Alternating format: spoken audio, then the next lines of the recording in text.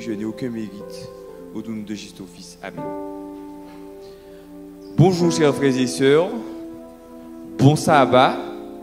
J'espère que vous allez bien ce matin, même si la semaine a pu être compliquée pour d'autres et bonne pour certains. J'espère que ce sabbat va vous faire du bien et que vous pourrez passer un moment d'adoration et de louange qui pourra vous fortifier aujourd'hui. Alors nous allons débuter notre quart d'heure de chant et notre premier chant sera La trompette sonne.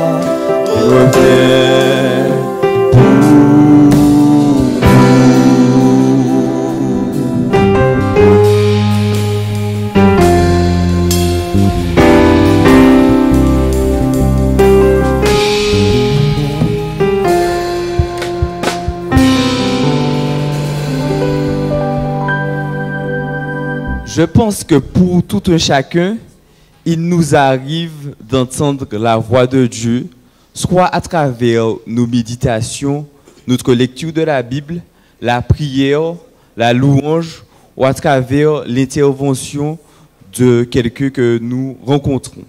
Et comme deuxième chant, nous allons entonner tous ensemble le chant Il m'a parlé, Jésus m'a parlé.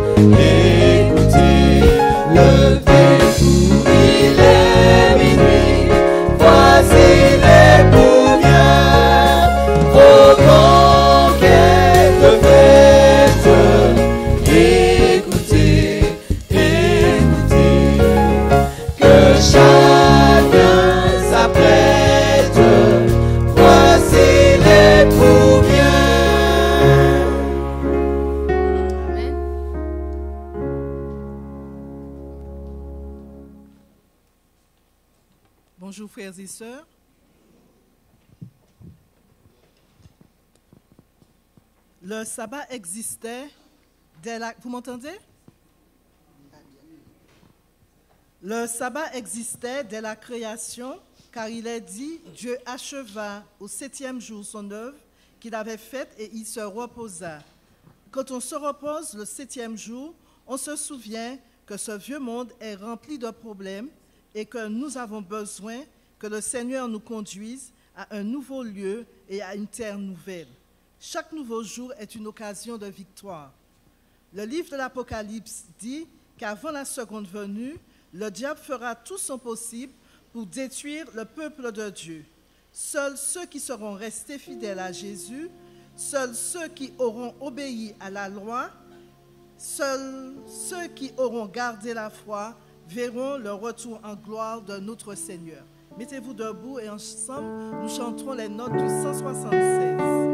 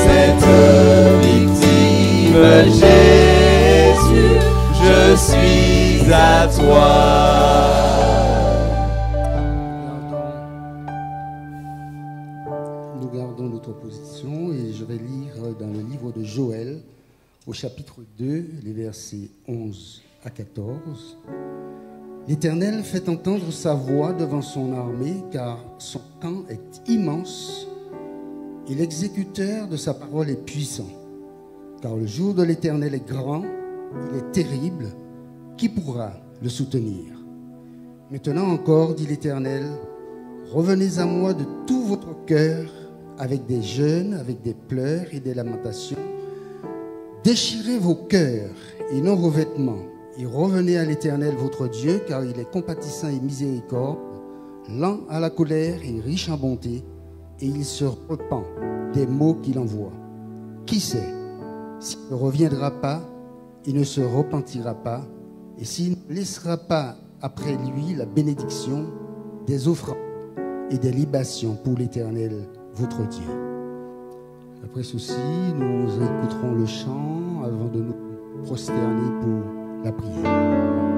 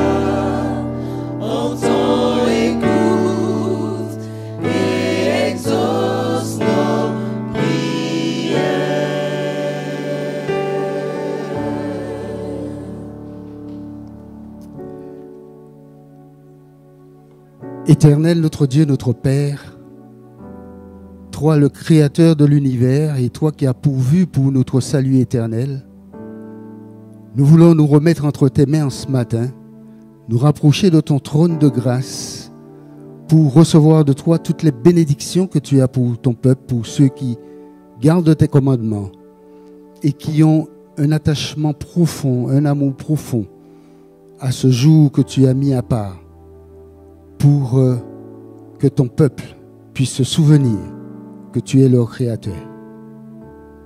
Aussi Seigneur, nous te demandons de nous laver dans le sang de Jésus afin d'être dignes de nous approcher de toi en cet instant, pour que tu puisses réaliser en nous tes desseins, réaliser en nous le désir de te rester fidèle, réaliser en nous la force de marcher jusqu'à notre destination finale, la Canaan céleste. Sois élevé, Père, glorifié, honoré, adoré pour ce que tu es et pour ce que tu fais chaque instant, chaque jour, pour chacun de tes enfants.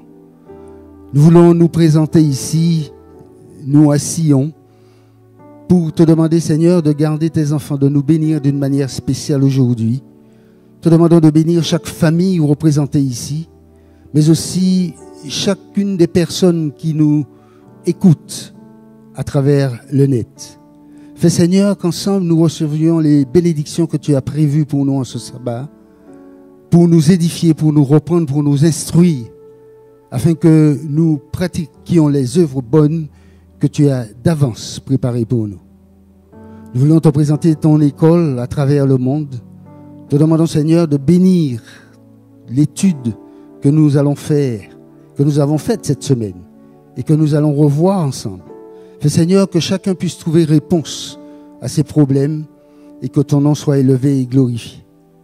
Bénis cette école du sabbat ici d'une manière spéciale, soit avec ceux qui dirigent cette école.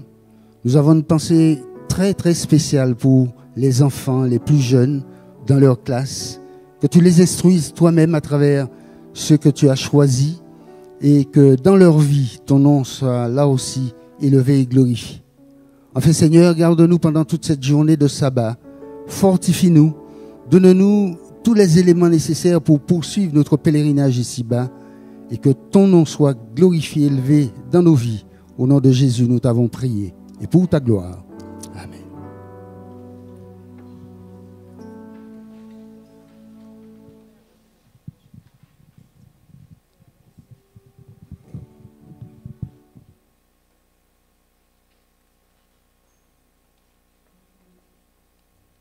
Frères et sœurs, chers amis, vous avez choisi d'être à Sion ce matin. Vous avez fait le bon choix. Profitons de cette merveilleuse journée de sabbat. Toute l'équipe de l'école du sabbat ce matin vous accueille d'un cœur joyeux à Sion et vous souhaite de passer un agréable sabbat. Apprécions cette journée avec nos bien-aimés frères et sœurs et aussi nos amis visiteurs. Bienvenue à tous et à ceux qui nous écoutent sur le net. Écoutons un chant avec les chantres. Enfin, nous allons chanter Tendez la main à quelqu'un avec l'assemblée, bien sûr. Accueillez-vous l'un et l'autre. J'aimerais voir que chacun aille se saluer et se souhaiter la bienvenue. Chantant d'un même cœur en harmonie, élevant le chant joyeux d'un peuple.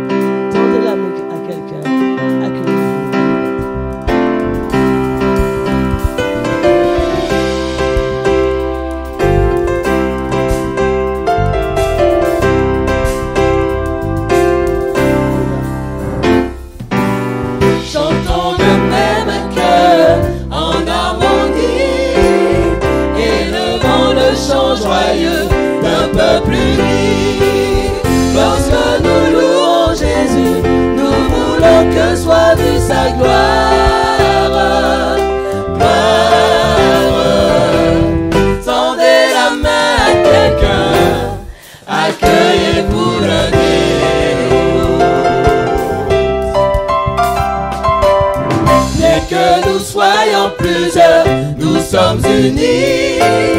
Le son des nations forme une mélodie.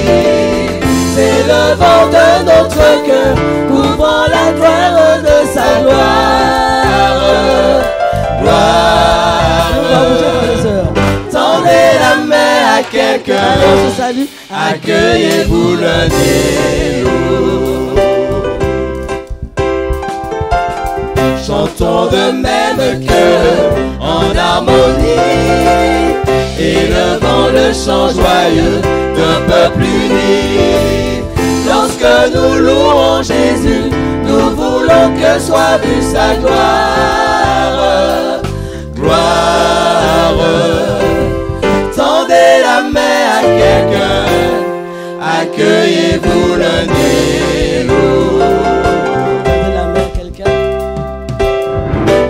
Tendez la main à quelqu'un, accueillez-vous et l'autre. Tendez la main à quelqu'un, accueillez-vous l'un et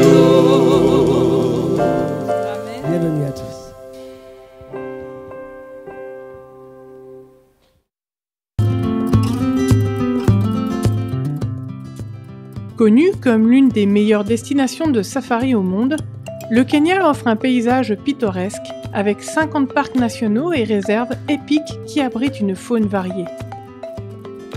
Avec une population de 54 millions d'habitants, plus de 60 langages sont parlés au Kenya.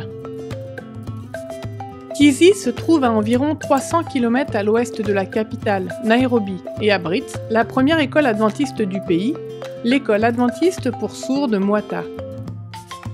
Cette école a démarré par un homme qui se convertit à l'adventisme en 2012. Il lui était difficile de gérer l'école tout seul. Aussi l'a-t-il confié aux dirigeants adventistes locaux.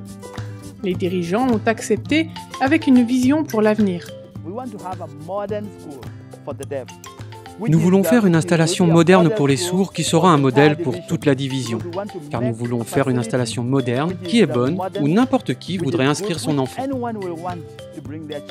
Avec une telle vision, les dirigeants d'église ont pris des mesures sérieuses pour offrir une éducation chrétienne de qualité à la population sourde. La fédération a obtenu des ressources financières et ils ont commencé à mettre en place des structures et des salles de classe pour eux. Ils ont mis cela dans les deux premières salles de classe. Ils en ont ajouté deux autres. Il devait y en avoir six avec un bureau et une salle du personnel. Les deux salles de classe ont été transformées et un dortoir où les élèves ont commencé à vivre. Ils sont donc logés dans ce qui était deux salles de classe, une pour les femmes et une pour les hommes.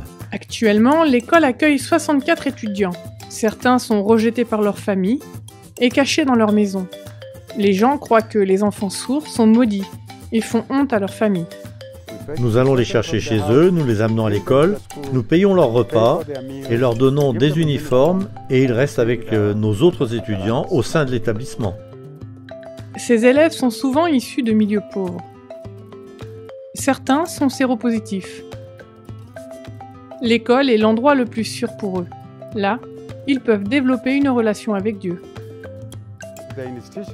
L'institution est gérée par l'Église adventiste.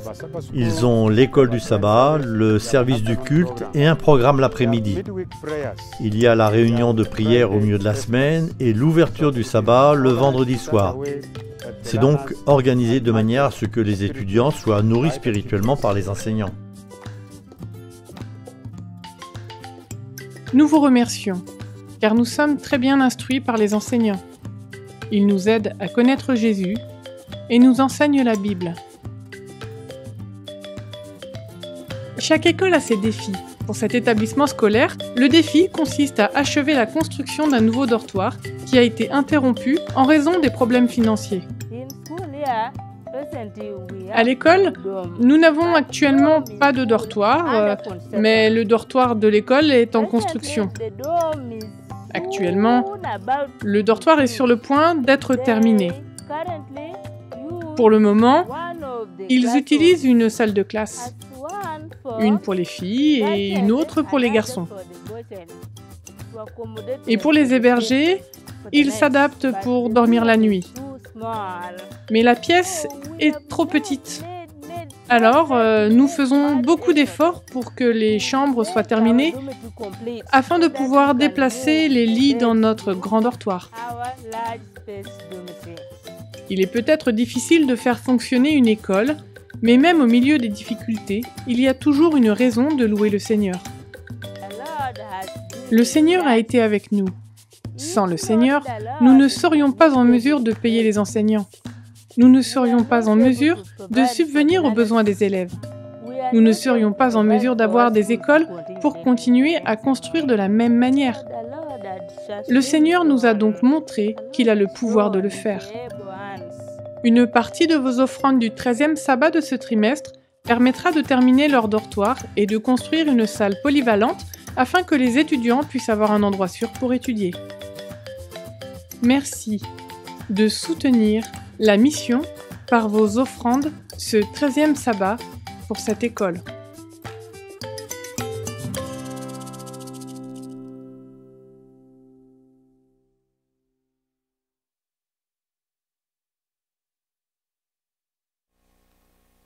Nos cinq minutes sont réservées au fonds de placement.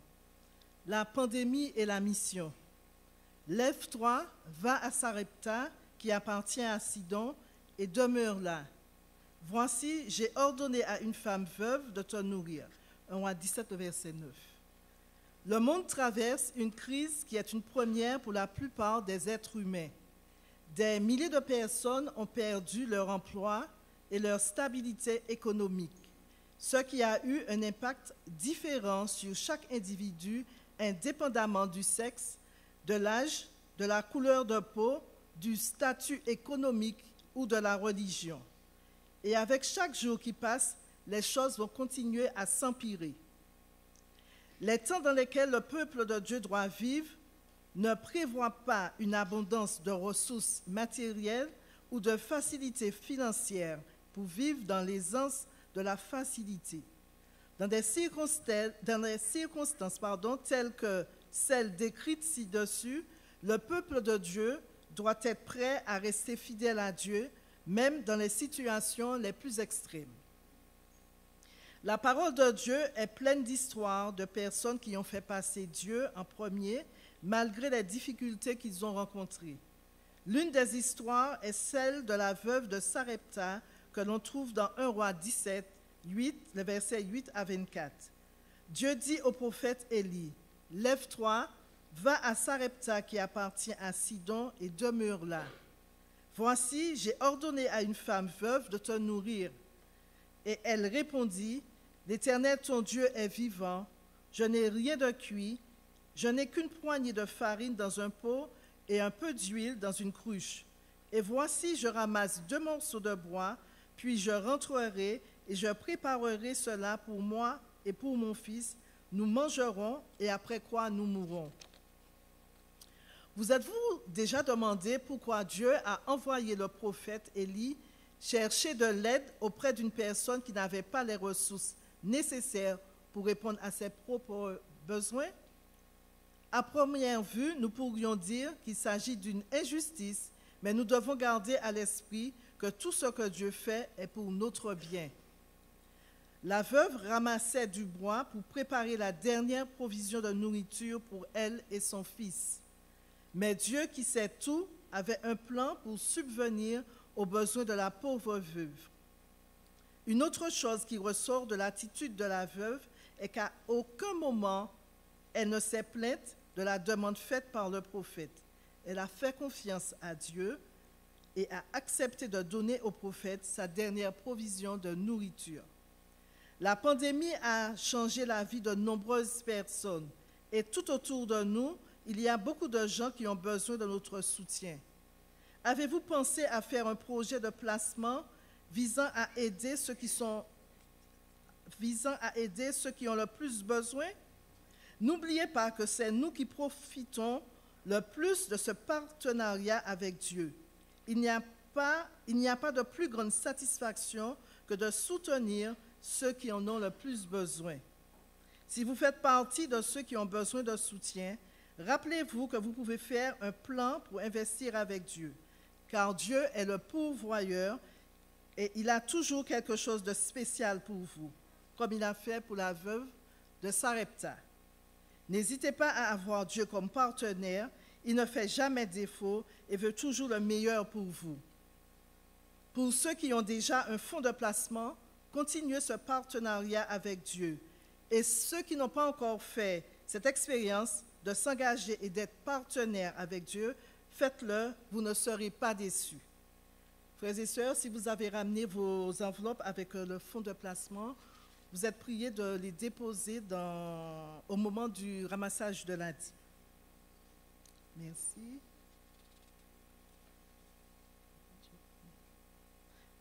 Nous allons passer à la leçon. Nous avons étudié cette semaine les alliances de Dieu. Alors, le plan du salut est une alliance que Dieu propose aux humains. Les contrats font partie des relations humaines, mais l'alliance que Dieu conclut avec nous en Jésus était prévue de toute éternité et elle offre la vie éternelle à ceux qui sont fidèles jusqu'à la mort. Séparons-nous dans nos classes respectives. Juste avant de nous séparer, nous chanterons le chant Dieu me bénit par ses leçons. Dieu me bénit par ses leçons.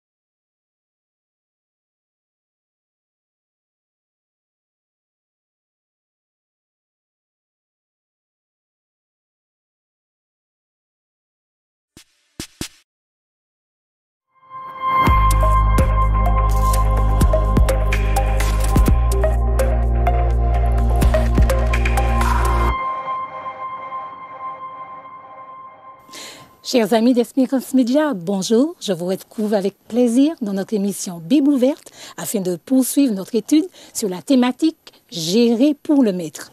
Donc, je suis accompagnée du pasteur Ronnie 16. Bonjour. Bonjour. Bienvenue. Merci. Alors, il apportera euh, des réponses à nos interrogations.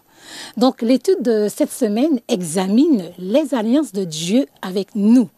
Donc, nous allons nous prononcer particulièrement sur les alliances bilatérales entre Dieu et son peuple. Donc avant de commencer, Pasteur 16, je te propose de prier. Eh bien, je vous invite, là où vous êtes, à vous recueillir pour ce temps de prière. OK. Seigneur notre Père, nous voulons te dire merci pour ta parole. Ta parole est vérité et c'est à travers ta parole que tu nous as laissé un message important pour que nous puissions saisir la relation que tu veux avoir avec nous. Alors pendant ces quelques minutes où nous serons ensemble pour parler de l'alliance, de ton alliance que tu as fait avec nous, nous prions pour que le Saint-Esprit nous dirige et que nos cœurs soient ouverts à ce que tu auras à nous enseigner pendant ce temps-là. Nous t'avons prié au nom de Jésus.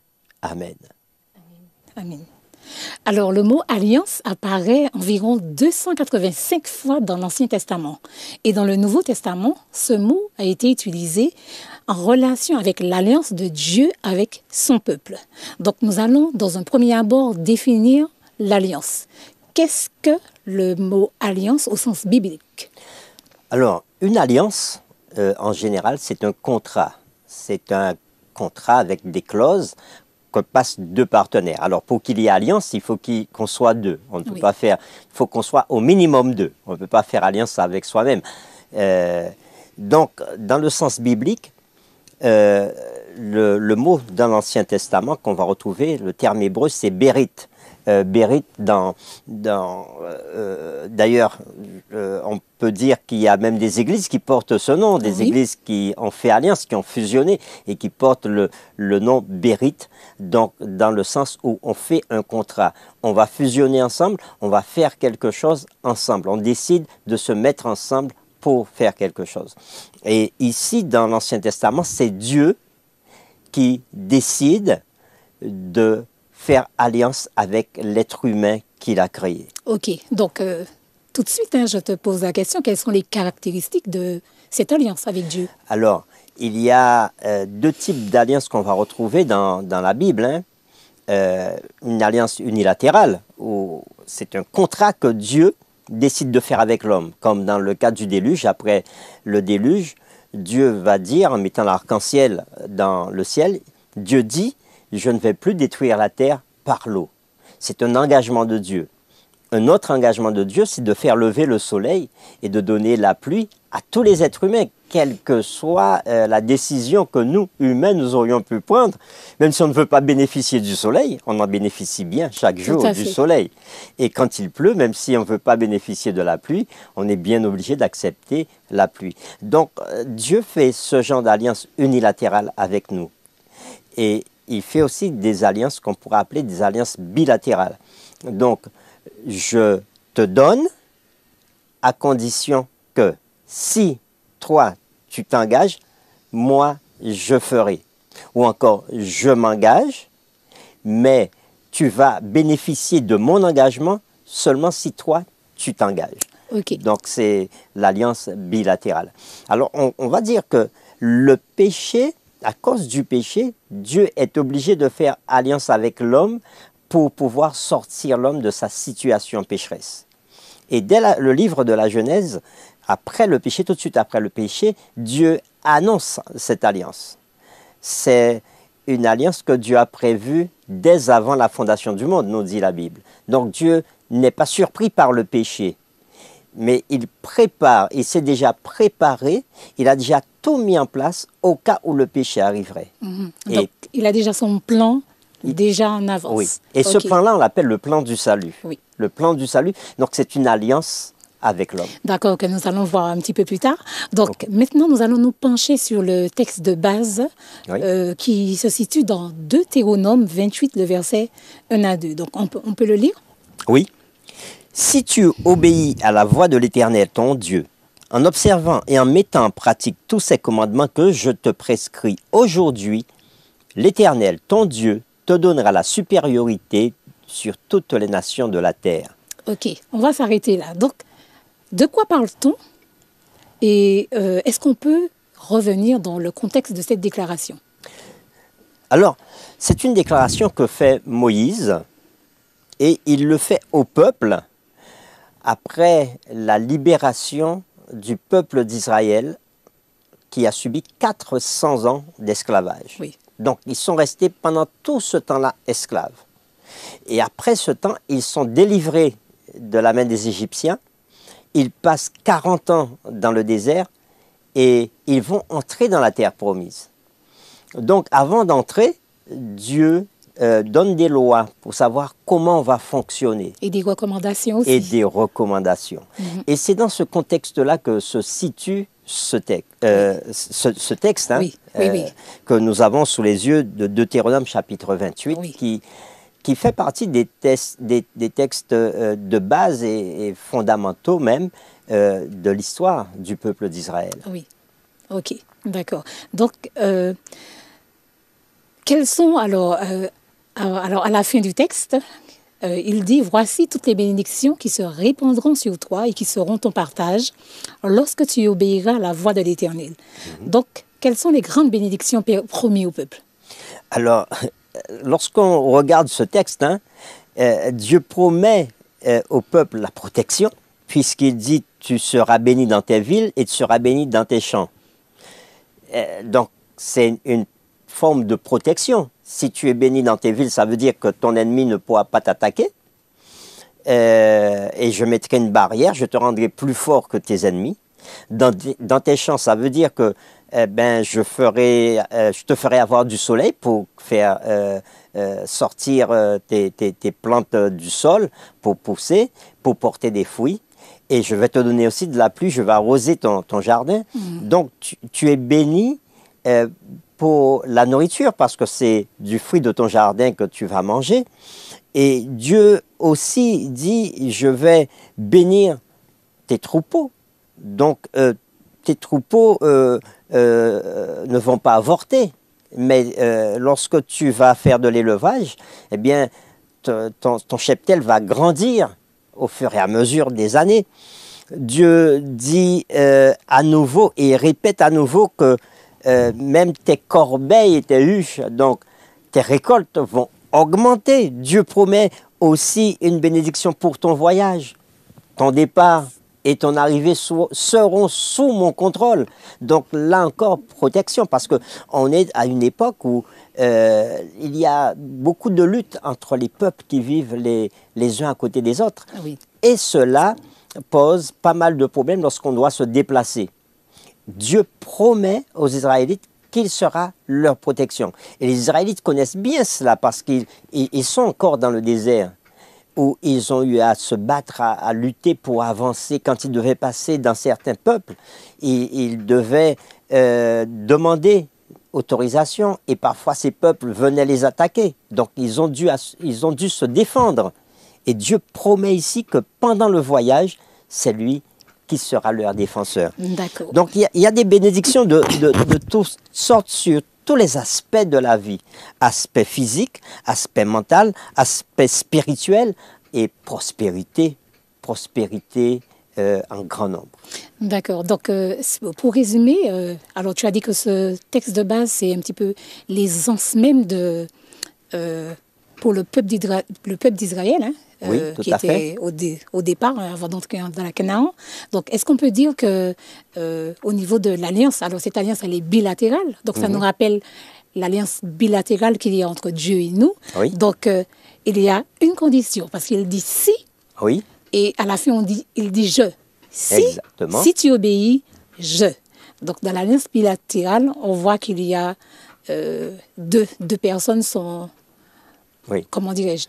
Il y a deux personnes, qui sont en action. Exactement. Voilà. C'est comme dans, dans, un mariage. Hein? Oui. Euh, quand je décide d'épouser, je, euh, ok, je dis, euh, voilà, je t'aime, donc je vais t'épouser, mais l'autre qui est en face, si la personne ne m'aime pas, la personne peut dire, ah non, non, non, moi ça ne m'intéresse pas. Donc, il faut qu'il y ait une réponse de la part de la personne.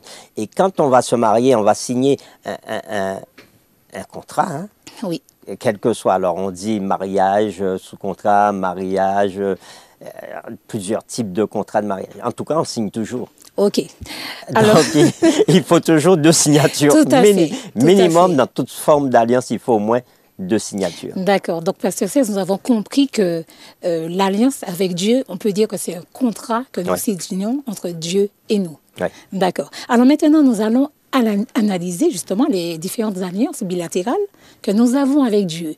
Alors, nous allons parler, pardon, de l'alliance du salut. Mm-hmm. Comment recevons-nous le salut?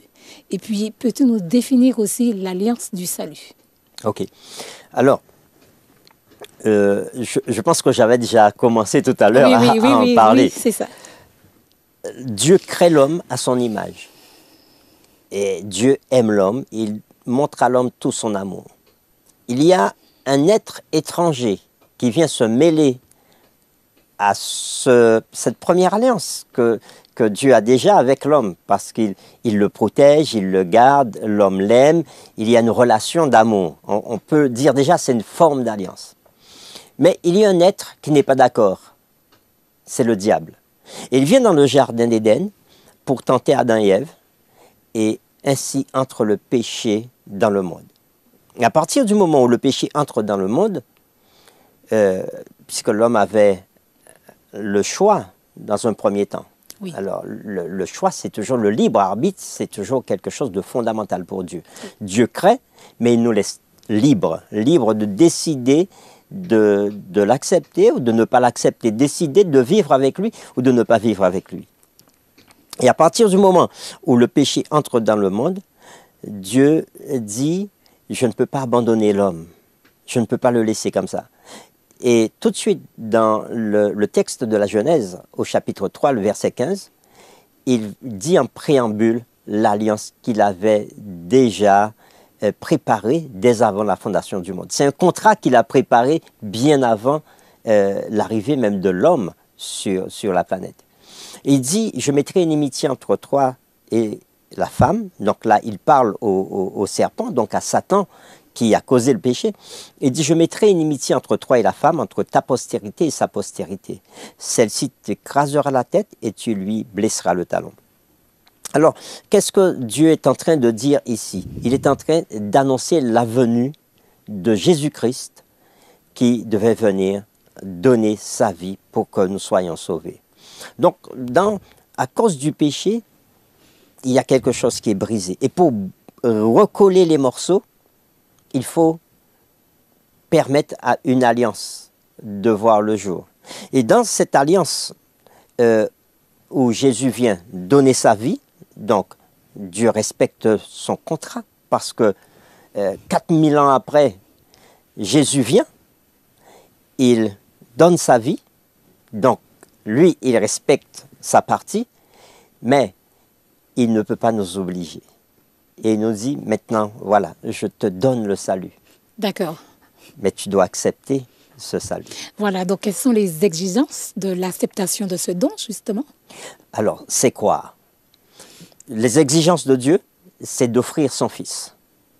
Il l'a réalisé. C'est une exigence réalisée et il offre le salut à tous les hommes du monde entier. Et l'exigence pour l'homme, on le trouve aussi dans Jean chapitre 3, verset 16, car Dieu a tant aimé le monde qu'il a donné son Fils, afin que quiconque croit en lui ne périsse point, mais qu'il ait la vie éternelle. Donc, si moi je crois, et la croyance ici n'est pas simplement dire ouais, je, je, crois, mais la croyance ici va plus loin. C'est euh, la fidélité, c'est l'adhérence. Croire ici, c'est adhérer à ce que Dieu me, me donne, adhérer au salut.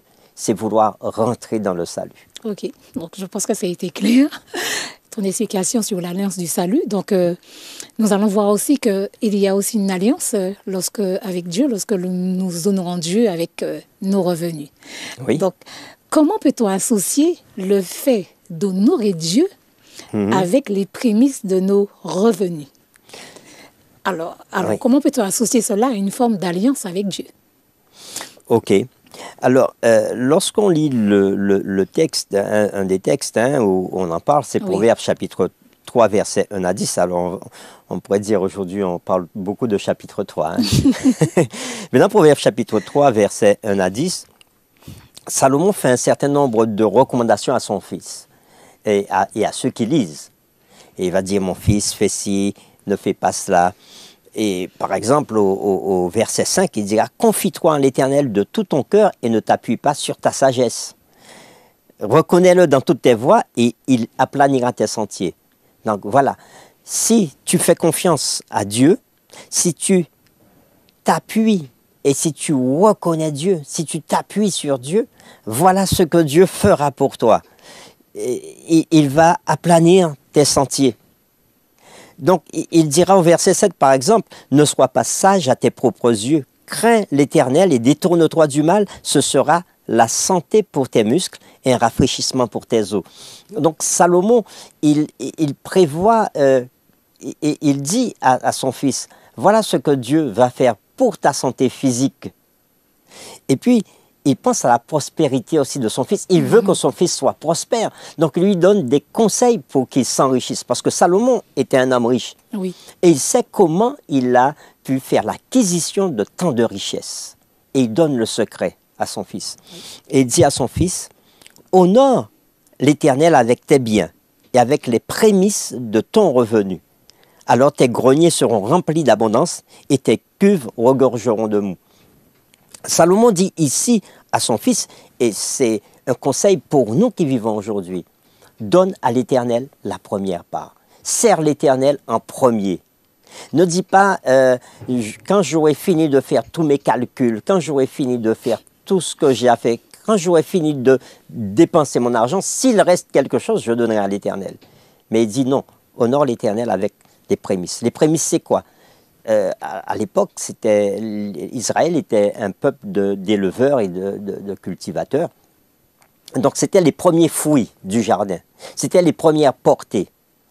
Et Salomon conseille à son fils de donner les premiers fruits à l'Éternel, de donner les premières portées. À cette époque, c'était comme cela qu'on donnait nos offrandes, qu'on portait la dîme à l'Éternel. Mhm.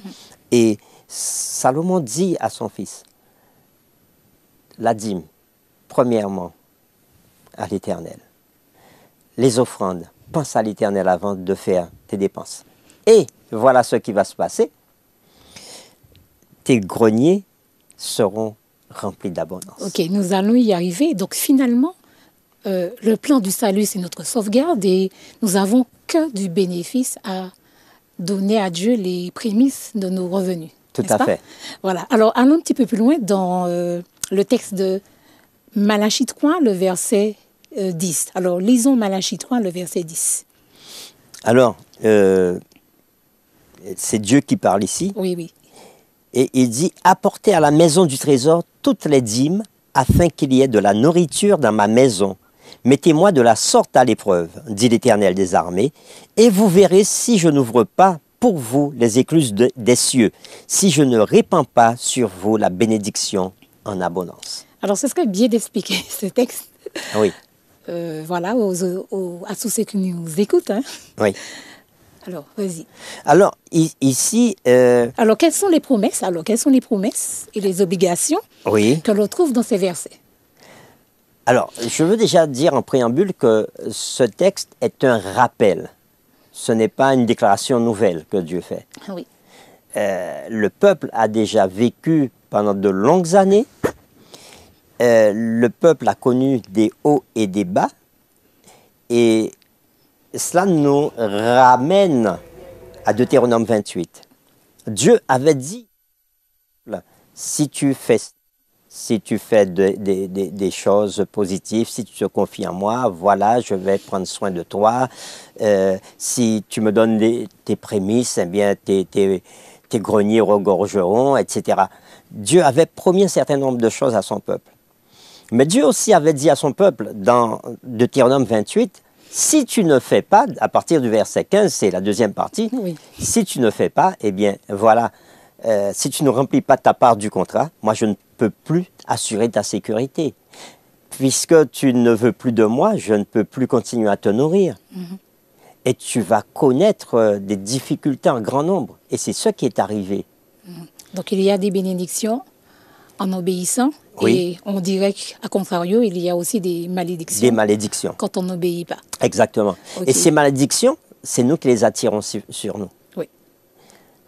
Et dans Malachie, chapitre 3, verset 7 à 11, on retrouve encore cela.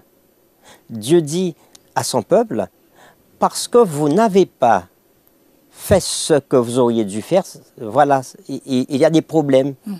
chez vous, dans vos maisons, dans vos champs, dans, dans, tout ce que vous possédez, vous avez mhm. des problèmes, parce que vous n'avez pas fait votre part du contrat, vous n'avez pas rempli votre part du contrat. Et Dieu rappelle au peuple, c'est quoi sa part du contrat? Apporter à la maison du trésor toutes les dîmes afin qu'il y ait de, la nourriture dans ma maison. Mettez-moi de la sorte à l'épreuve et vous verrez. En fait, comme le peuple avait un peu oublié ce que Dieu lui avait demandé de faire, eh bien, euh, Dieu dit au peuple, attention, ce n'est pas moi qui ai le problème, mais c'est toi qui as le problème. Mais dis-moi, est-ce que Dieu revendique la dîme Non, Dieu, Dieu ne revendique pas parce que tout lui appartient. Dieu n'a pas besoin de notre dîme. Dieu n'a pas besoin de nos offrandes. Parce qu'il il, dit clairement, les animaux sont à moi.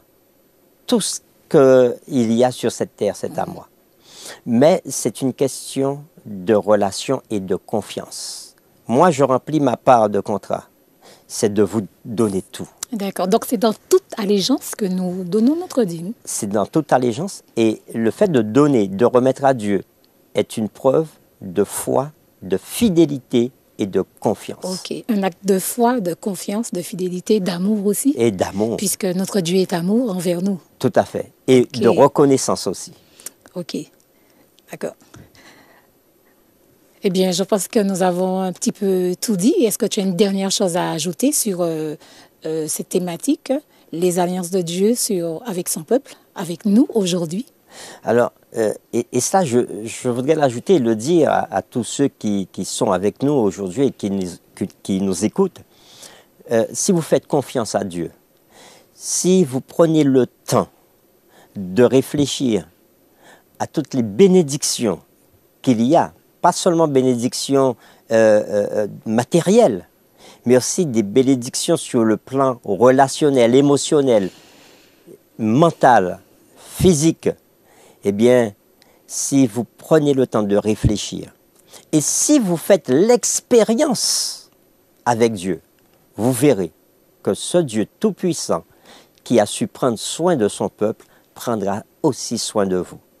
Si vous voulez être prospère, et là je parle surtout aux jeunes qui parlent de prospérité aujourd'hui.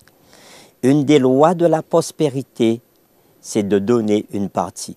Et les hommes qui parlent de prospérité disent aujourd'hui que de mettre 10% pour des œuvres caritatives, parce qu'ils ne croient pas, mais de donner 10% aux autres, aux plus malheureux. C'est une façon pour eux de dire que ces 10%-là, il faut les donner d'une façon ou d'une autre. Ce que Dieu nous demande, c'est de lui donner ces 10%, mais en plus de lui donner nos offrandes et nous verrons comment nous serons prospères par sa grâce. Mhm. Et il me semble que ces hommes dont tu parles créent beaucoup de fondations. C'est Tout à fait. C'est un peu... Euh, ils vont mettre leur argent dans des fondations pour aider des enfants qui sont pauvres dans certains pays, pour faire d'autres œuvres caritatives. Mhm, parce qu'ils ont compris que la prospérité aussi, c'est le fait aussi de... De donner. De donner. De donner, tout à fait. D'accord. Bien. Eh bien, ce sont les mots de la fin, verset 16. Nous te remercions pour euh, ces précisions, pour ces éléments de réponse que tu as apportés à nos interrogations. Donc, nous arrivons au terme de notre étude. Alors, nous retenons que si nous regardons l'alliance bilatérale de Dieu avec nous, nous pouvons voir à la fois nos bénédictions et nos responsabilités. C'est ça? Tout à fait. OK Donc, par notre réponse à ce que Dieu nous offre, nous établissons notre relation avec lui et dans une large mesure, déterminons notre destinée. Alors, finalement, nous n'avons qu'une seule chose à faire, c'est obéir à Dieu, sans difficulté. Et alors, je vais plus loin au lieu de dire obéir, je vais dire rentrer dans le contrat. Voilà, rentrer dans l'alliance. Dans l'alliance. En effet, l'obéissance et le service et l'allégeance de l'amour est le véritable signe du disciple. Amen. Voilà, donc euh, notre étude est terminée, donc euh, nous allons prier. Merci, notre Dieu, notre Père, pour euh, ce moment que tu nous as donné, que tu nous as permis de partager avec les autres, Seigneur, que nous puissions comprendre euh, cette, cette, alliance que tu fais avec nous et surtout rentrer dans cette alliance qui n'est que bénédiction pour tous tes enfants. Merci. Que tu nous gardes et nous bénisses. Au nom de Jésus. Amen. Amen. Amen. Donc, notre étude est terminée. Je vous retrouve prochainement. D'ici là, nos programmes continuent, donc restez connectés.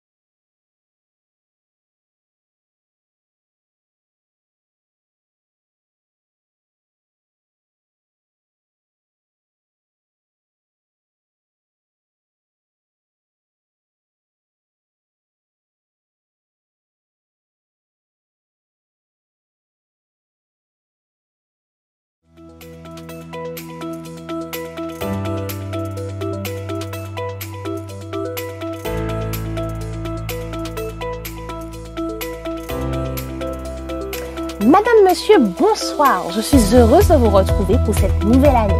Je vous souhaite au nom de toute l'équipe Espérance Média une bonne année et tous nos voeux de bonheur et de santé en Christ.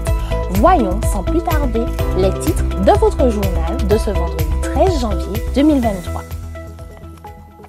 Actualité du monde. Aux États-Unis, de jeunes adventistes distribuent 50 000 livres à Phoenix. Les dirigeants adventistes examinent et consolident les initiatives pour l'évangélisation en 2023. De retour en Martinique, nous parlerons des conventions annuelles de 2023. Nous ferons un point sur le planning des conventions qui se dérouleront sur les deux prochains week-ends. Le Secours Adventiste propose un atelier informatique smartphone animé par Joël Gaget. Le samedi 21 janvier, journée de promotion de la liberté religieuse, le département famille vous propose un séminaire de préparation au mariage. Votre série événements des derniers jours continue jusqu'à ce dimanche. Émission hebdomadaire Les Sentiers du Bonheur, Femmes vertueuses, Femmes de valeur et votre worship Moment. Partons maintenant aux États-Unis où de jeunes adventistes distribuent 50 000 livres à Phoenix. Action missionnaire, c'était le mot d'ordre de la convention annuelle de Génération Jeunesse Christ, qui a eu lieu le 30 décembre 2022. Les participants ont distribué près de 50 000 exemplaires du livre La tragédie des siècles d'Ellen G. White dans les foyers de la région de Phoenix en Arizona aux États-Unis. La campagne d'évangélisation par le porte-à-porte sur une journée a permis aux participants de prier avec au moins plusieurs centaines d'habitants de la région et d'offrir des études bibliques aux personnes intéressées. Seigneur, donne-nous Phoenix. Tel était le cri de ralliement des plus de 2000 personnes qui se sont déployées à travers Phoenix pour exercer leur ministère. Dirigé par Junior Vertus, vice-président de GYC en charge de l'évangélisation et pasteur stagiaire à l'église Village Church dans le Michigan, les participants ont affronté le temps brumeux et ont parcouru les rues animées pour motiver, tous motivés à avoir un impact sur la communauté. À la fin de l'action missionnaire, les participants sont retournés au centre de convention de Phoenix pour la séance plénière du soir avec le pasteur Stephen Conway. Les dirigeants adventistes examinent et consolident les initiatives pour l'évangélisation en 2023. Les administrateurs et les responsables de département de l'Église adventiste du septième jour dans la division interaméricaine ont pris deux jours pour prier et passer en revue les initiatives en cours. Les nouveaux plans et les activités visant à mobiliser les membres d'Église pour la proclamation de l'Évangile sur tout le territoire cette année. Les rencontres qui se sont tenues les 4 et 5 janvier 2023 ont été l'occasion pour les dirigeants de l'Église de consolider les activités d'évangélisation avec de plus grands efforts de collaboration entre les départements et les ministères avec l'objectif d'accomplir la mission, ont déclaré les dirigeants de l'Église. Nous devons continuer à être une équipe plus forte, dévouée à l'écoute les uns des autres et travailler plus étroitement ensemble alors que nous faisons face à l'immensité de 2023, a déclaré le pasteur Elie Henry, qui est le président de l'Église adventiste dans la division interaméricaine. Il s'agit de s'assurer que les initiatives et les activités déjà en cours et celles prévues pour cette année soient davantage intégrées, a-t-il déclaré. Les rencontres pour les responsables de département étaient cruciales pour que les dirigeants prennent le temps de prier en groupe, de considérer les bénédictions que Dieu a déversées sur l'Église dans la division interaméricaine en 2022 et de réclamer la direction de Dieu pour avancer, a déclaré le pasteur Henri. Les dirigeants ont réaffirmé les valeurs bibliques et les initiatives d'implication totale des membres dans le cadre de ces initiatives missionnaires I Will Go, qui cibleront les grandes villes avec l'évangélisation urbaine, en plus de la formation de disciples et de la fidélisation des membres. Tout ceci pendant que des dizaines d'initiatives mettent l'accent sur l'enseignement ou l'éducation dans l'Église et la communauté, mais aussi que l'on continue d'aller vers les communautés et de servir. Revenons maintenant en Martinique. Convention annuelle 2023. Tous les officiers d'église pour l'année 2023 sont attendus dans les deux centres de convention avec le directeur fédéral et l'administration fédérale aux dates suivantes. Le premier centre aura lieu à l'église de Basse-Pointe. Donc le samedi 14 janvier de 15h30 à 18h30, les départements concernés sont les suivants. le département famille, publication, santé, communication, DORCAS, ministère personnel, aumônerie des hôpitaux. D'ailleurs, les personnes concernées sont les personnels de santé et toutes les personnes qui s'intéressent au département de l'aumônerie. Continuons avec les départements de l'anciennat, diaconat, éducation et ministère des femmes. Sont concernés tous les responsables de ces départements au niveau de la zone nord-atlantique. Continuons avec le dimanche 15 janvier de 8h30 à 12h30.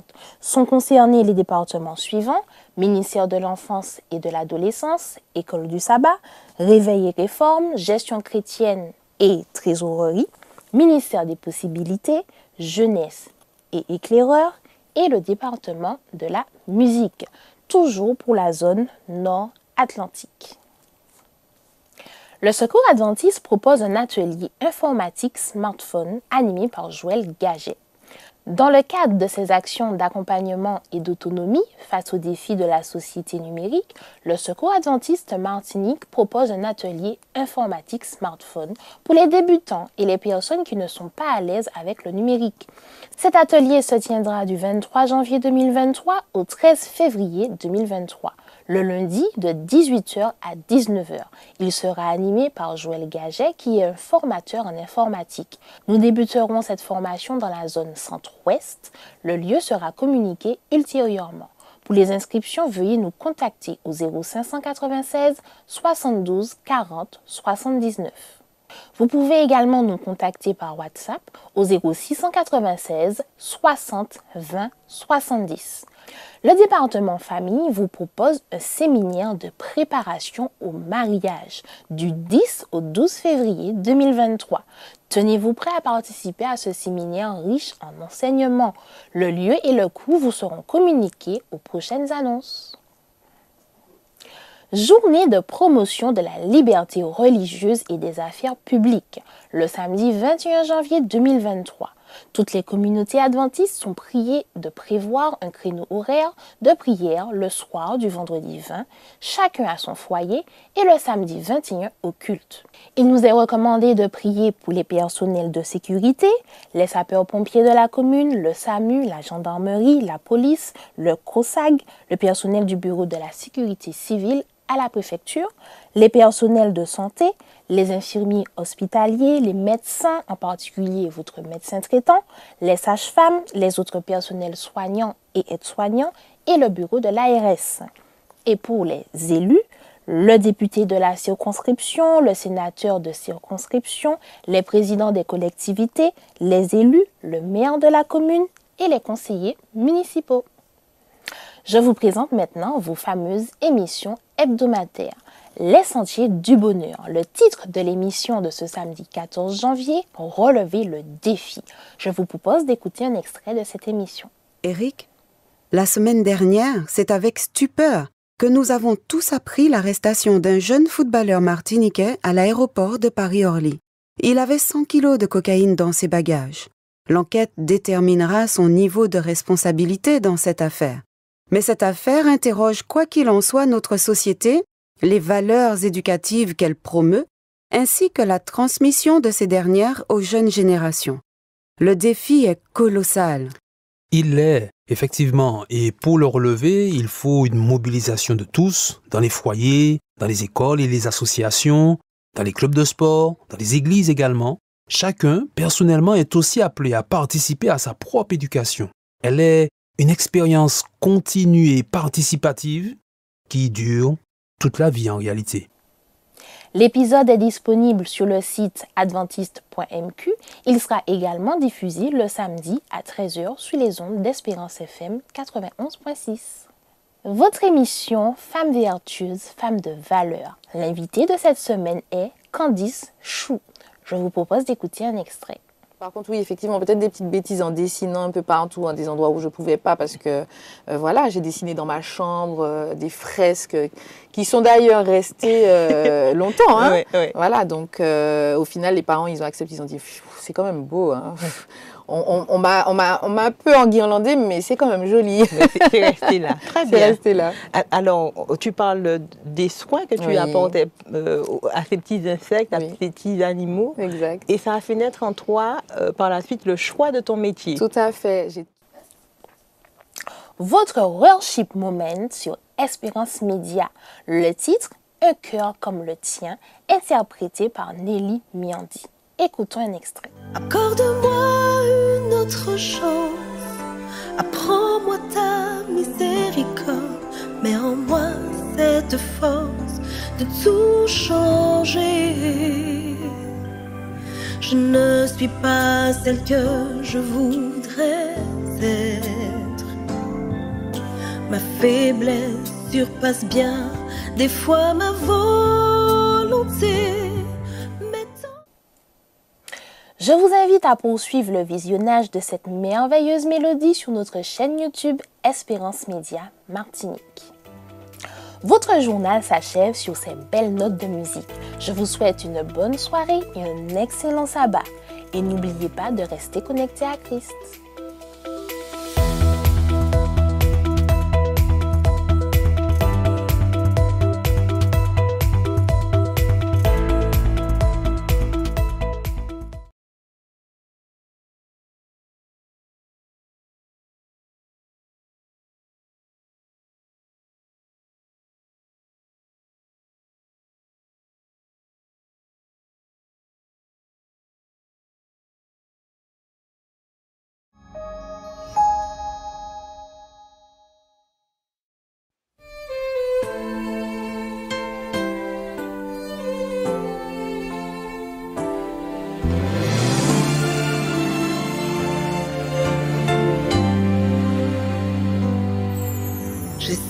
De te toucher, mais rien n'y fait.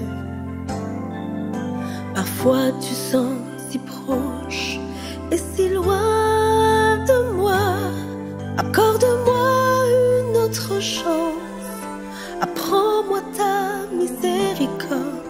Mets en moi cette force de tout changer. Je ne suis pas celle que je voudrais Ma faiblesse surpasse bien des fois ma volonté. Mais tant que tu es présent, avec toi, oui, je le pourrai. Avancer sur ce chemin, c'est ma prière, Seigneur. Cœur comme le tien. Voilà cœur comme le tien, voilà mon seul espoir, plein de compassion, se détournant du mal. C'est ma prière, Seigneur, donne-moi un cœur comme le tien, plein de grâce, plein de bon plein de foi, de vérité, fort comme le vent, tout comme une ombre. Oui, tu peux me rendre comme toi, Seigneur, un cœur comme le tien. C'est là mon désir, cœur comme le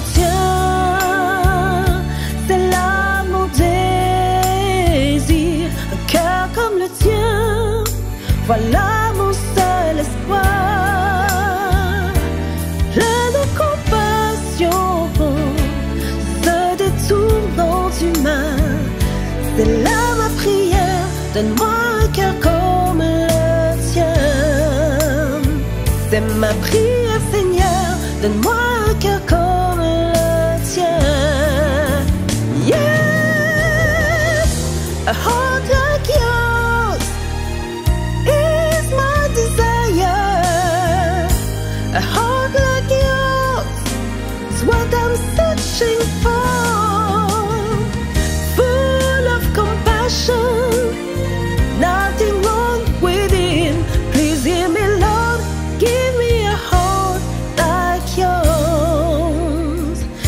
ma prière, Seigneur. Donne-moi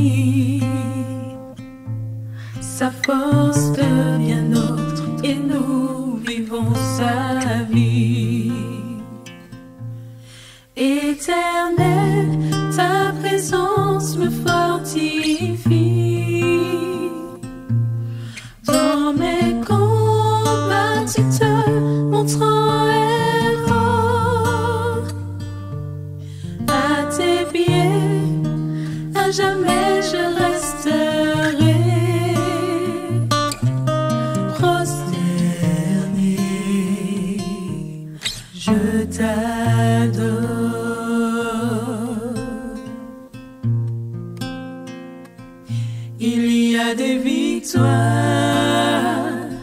qui s'obtiennent à genoux. Quand les larmes et les cris n'ont rien pu faire pour nous, ayant pour utile choix de tout abandonner à celui qui pour nous a déjà tout gagné.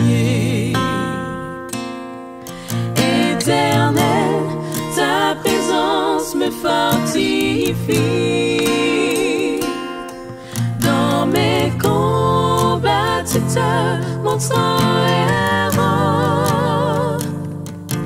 À tes pieds, à jamais.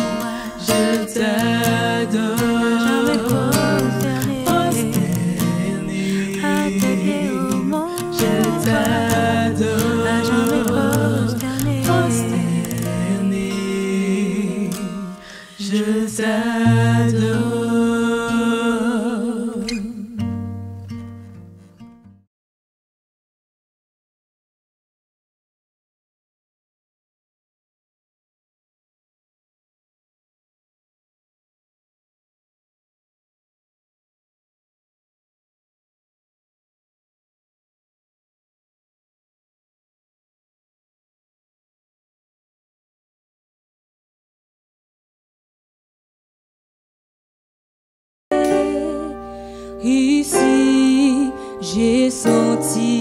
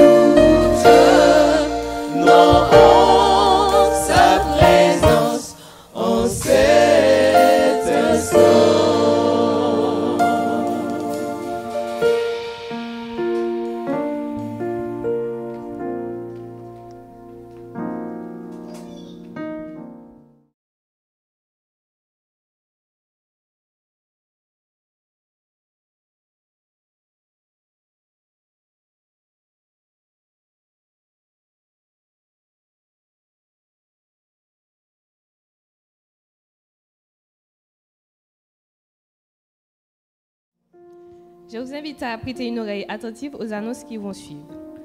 Annonce du sabbat 7 janvier 2023.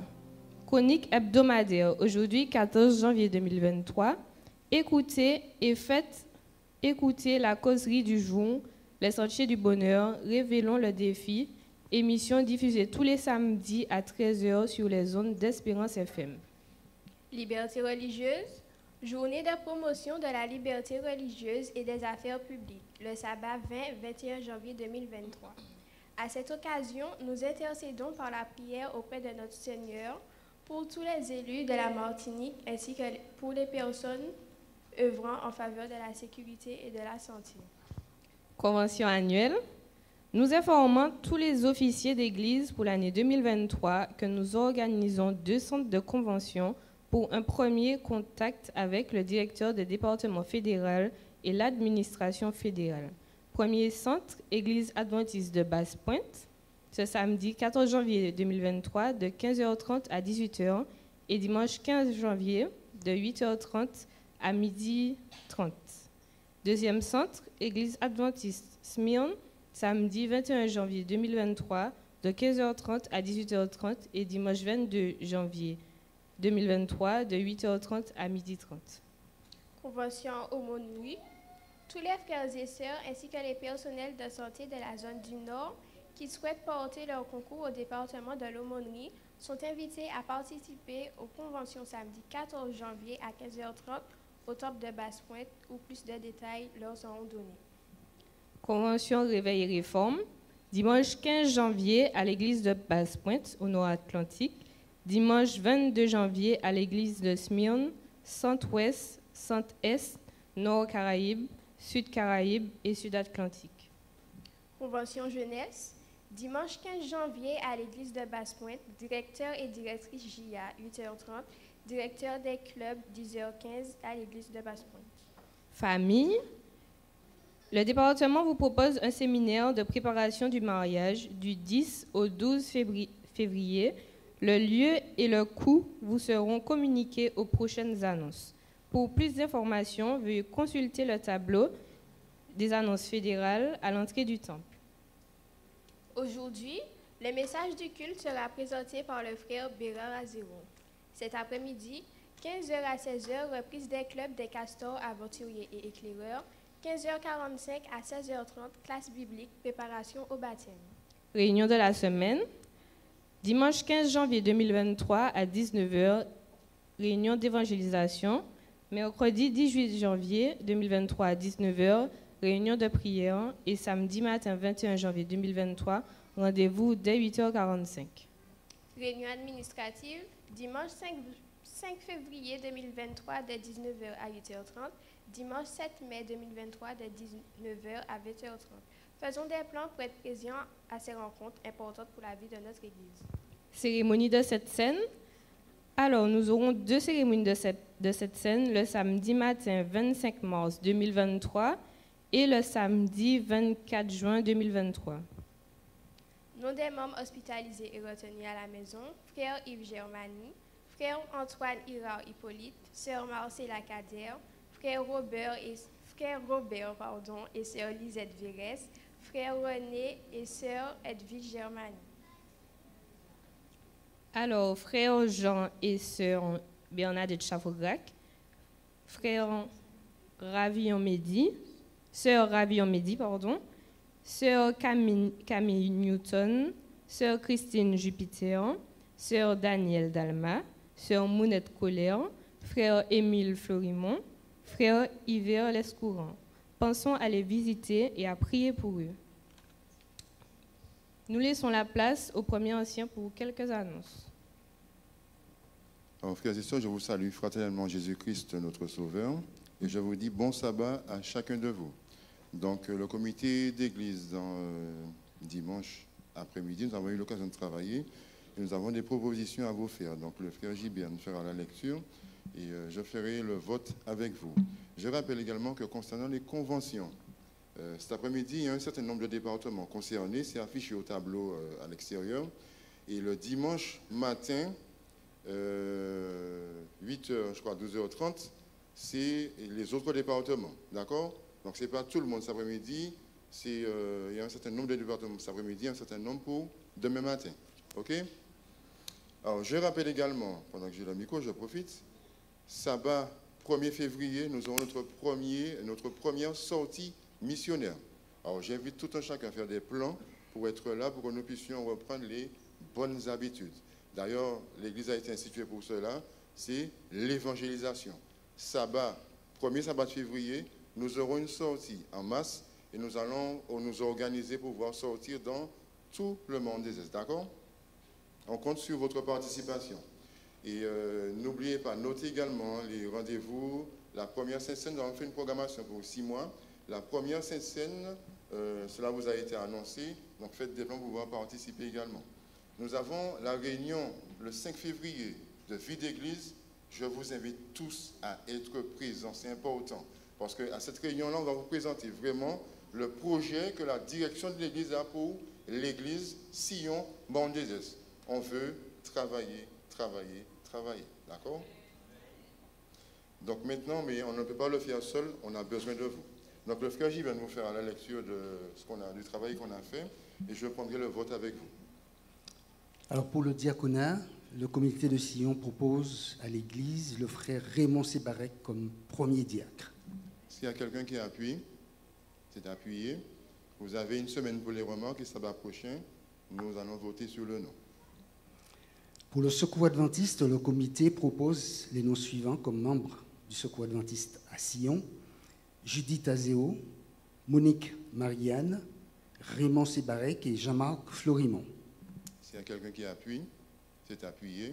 Ça va prochaine pendant le vote. Alors, ces noms-là, ce sont pour former le bureau de Secours adventiste d'Orcas. Musique.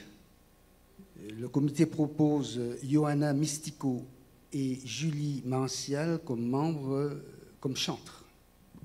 S'il y a quelqu'un qui appuie, c'est appuyé. Sabbat prochain, nous avons une semaine pour les remarques et nous allons prendre le vote sabbat prochain. Enfin, communication. Le comité propose Manuel Florimont et Steve Fortuné comme membres des communications à Sion. Est-ce que c'est appuyé? Je vous remercie. Toujours, nous avons une semaine pour les remarques et sabbat prochain, nous prendrons le vote. Alors, euh, qu'est-ce qu'il y a encore à dire? Alors, cet après-midi, ah oui, la classe biblique cet après-midi, à Carole, on a eu un, compromis avec Carole. Pourquoi tu n'as pas le sourire? Ah, je suis fatigué, d'accord. Donc, à partir de 15h45, 16h30.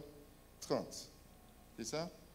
On a 45 minutes d'étude de la Bible. Alors, tous ceux qui veulent euh, faire notre connaissance biblique, vous voulez avancer dans une plus grande relation avec Dieu, venez cet après-midi à partir de 15h45 et là, nous allons entamer avec vous une étude et euh, profitez également pendant ce moment-là, si vous avez des questions, vous avez un texte de la Bible que vous voulez étudier, vous n'avez pas compris tel verset, c'est le moment de le dire, notez-le et nous ferons le nécessaire. D'accord? Parce que c'est un besoin, l'Église a besoin d'études de la Bible, d'avancer dans la pleine compréhension de la parole de Dieu pour pouvoir mieux le servir. Que le Seigneur bénisse chacun d'entre vous. Et j'aimerais souhaiter à nouveau la bienvenue à Michael et son époux. Bienvenue. Et aussi à ta maman euh, et également Monique. Pas Monique. Ghislaine, voilà. Voilà, qui m'a tiré les oreilles ce matin. Mais on va se voir après, tout à l'heure. Bon sabbat à chacun de vous. Pensez à méditer.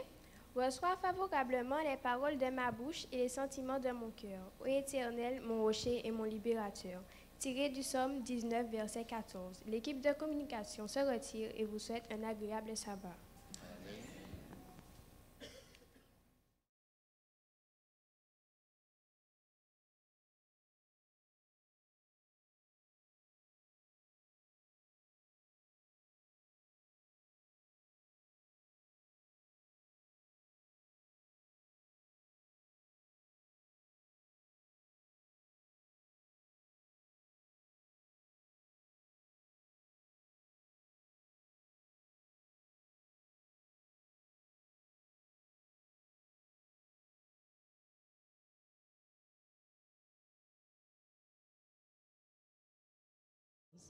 Resplendis sur nous ton temple.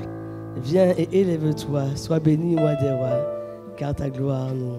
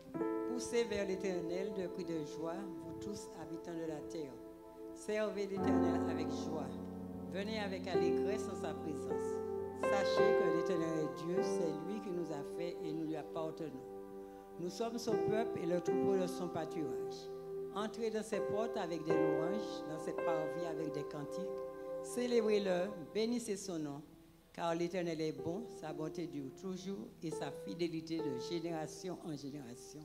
Amen.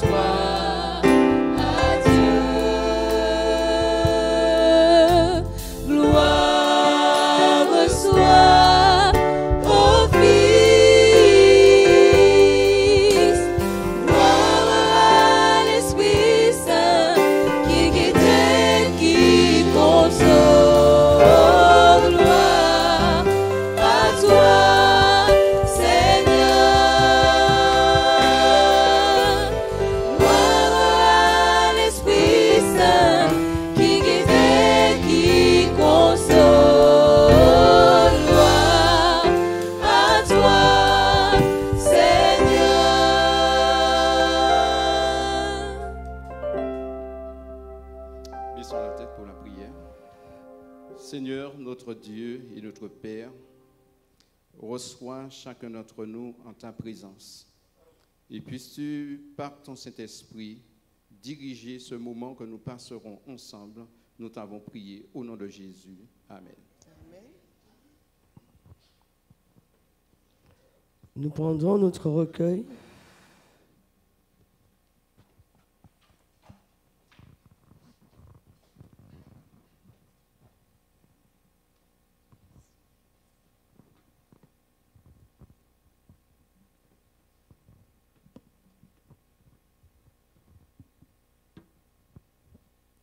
Bonjour chers frères et sœurs. Dans Exode 31, au verset 14, l'Éternel dit à Moïse, Vous observerez le sabbat, car il sera pour vous une chose sainte.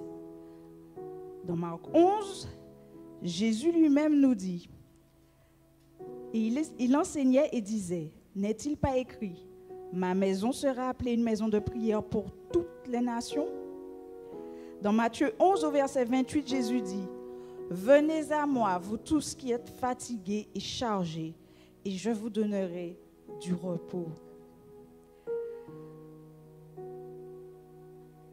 Finalement, dans Jean 6, Jésus, verset 37, Jésus lui-même a dit, Tout ce que le Père me donne viendront à moi, et je ne mettrai point dehors celui qui vient à moi. Je crois bien faire ce matin en vous disant, bienvenue à tous. Dieu vous accueille. Je vous invite maintenant à avoir une attitude révérencieuse, car ce que nous faisons est une chose sainte, car ce temple est une maison de prière et un lieu où nous pouvons trouver le repos. Je vous invite maintenant à prendre vos recueils et à chanter avec moi et avec les chantres ainsi que toute l'Assemblée au numéro 106, vers toi, montre, monte nos hommages.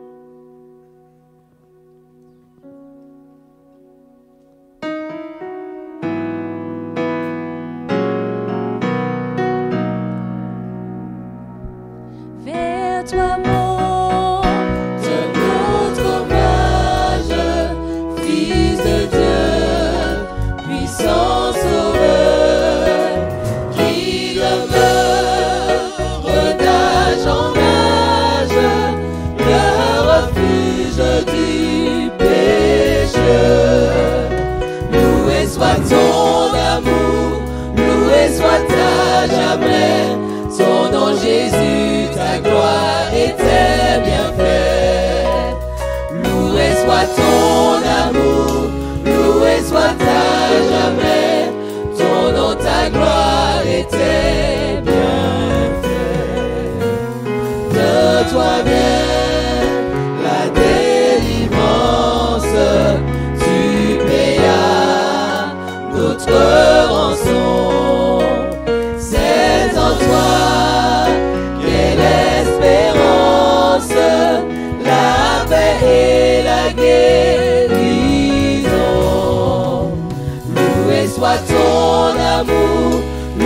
soit à jamais, ton nom Jésus, ta gloire et tes bienfaits.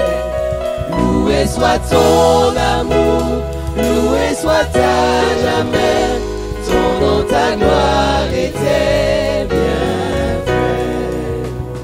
Oh, qu'heureux sous ta bannière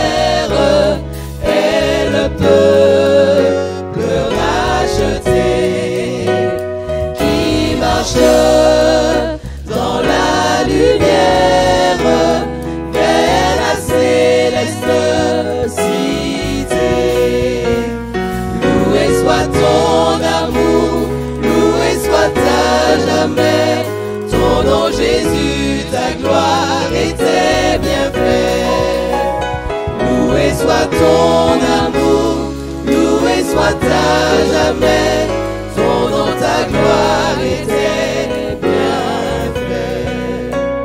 Par ta divine parole, tu l'enseignes, tu l'instruis, et par l'esprit qui console, constamment tu le conduis.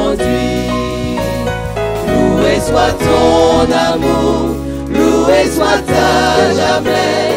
Ton nom Jésus, ta gloire et tes bienfaits.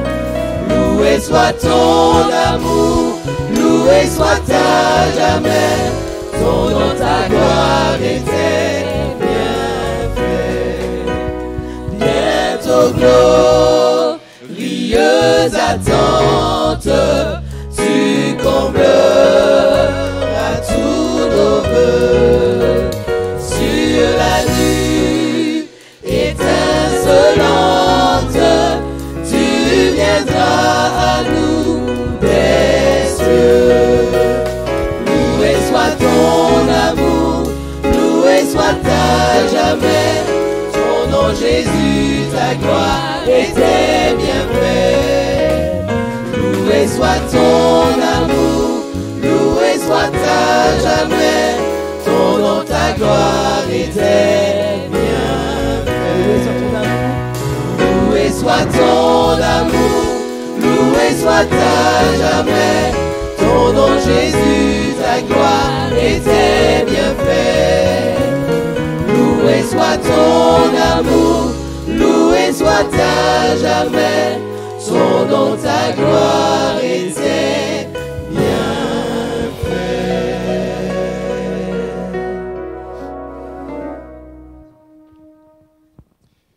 Je lis dans la parole de Dieu, dans Hébreux chapitre 3, le verset 11. Je jurai donc dans ma colère, ils n'entreront pas dans mon repos. Amen. Nous chanterons le chant juste avant la prière. Nous nous prosternons devant toi, Seigneur. Nous voulons nous remettre entièrement.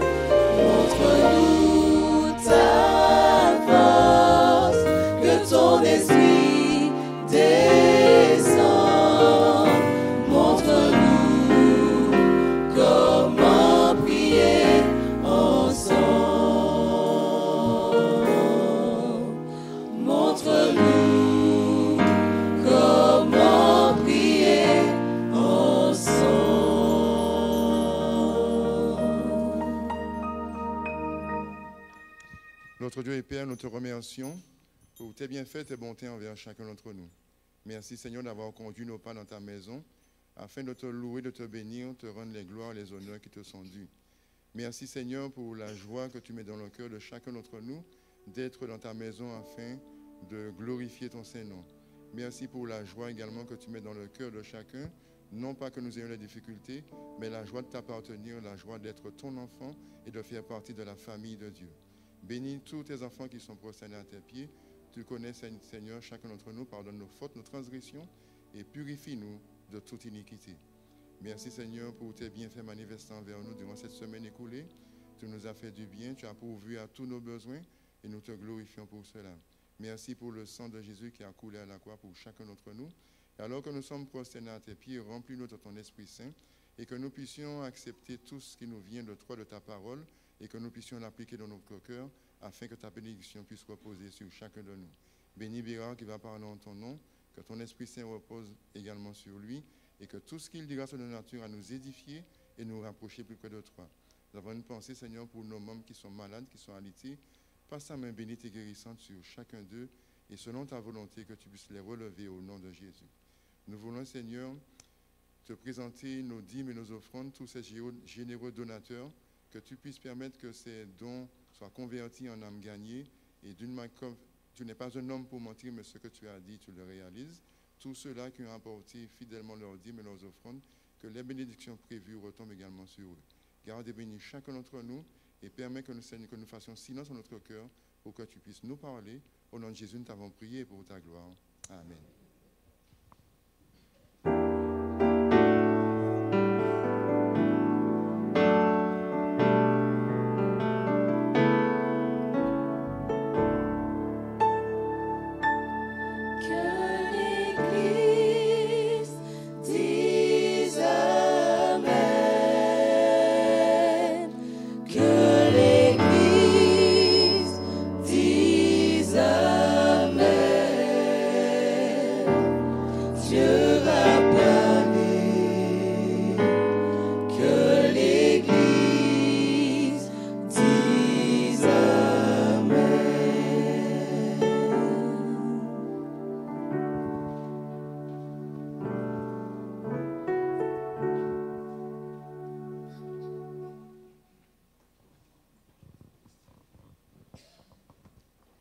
De fidélité, recommande aux riches du présent siècle de ne pas être orgueilleux et de ne pas mettre leur espérance dans les richesses incertaines, mais de les mettre en Dieu, qui nous donne avec abondance toutes choses pour que nous en jouissions.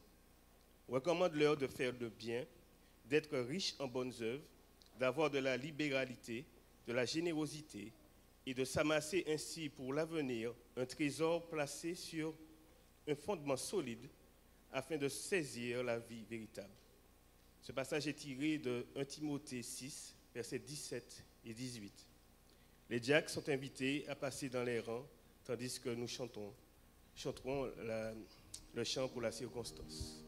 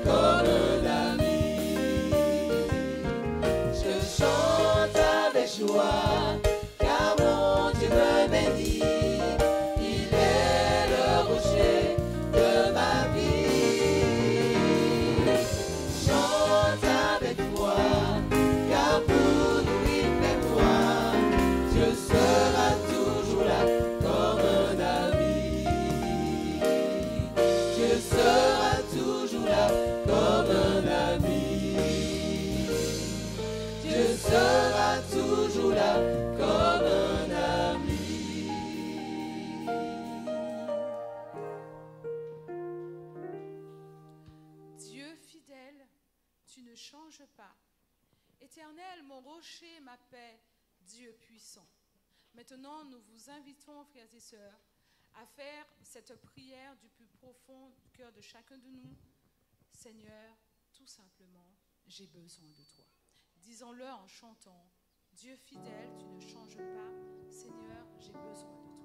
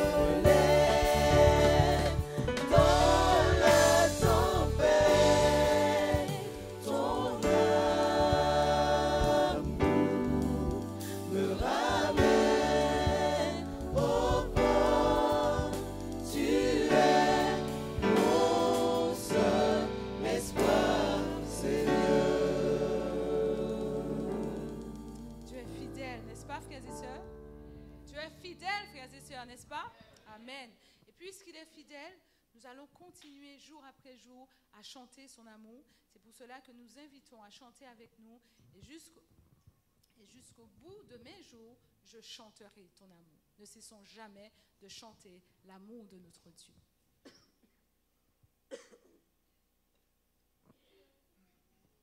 Les couleurs de l'arc-en-ciel.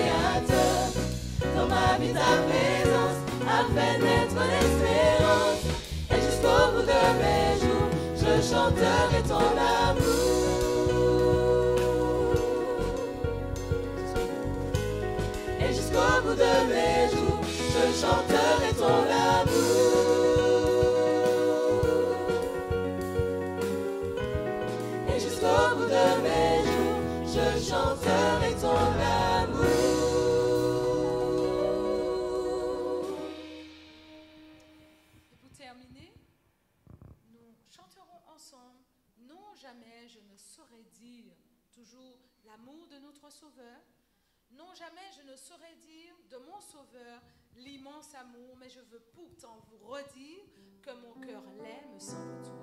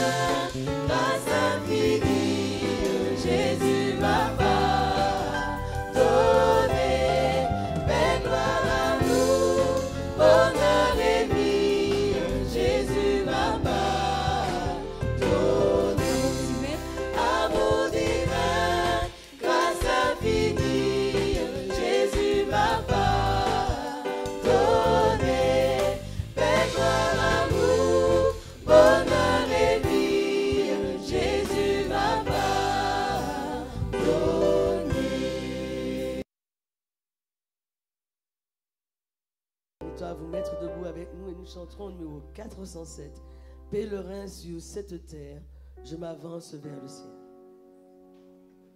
Vous, s'il vous plaît.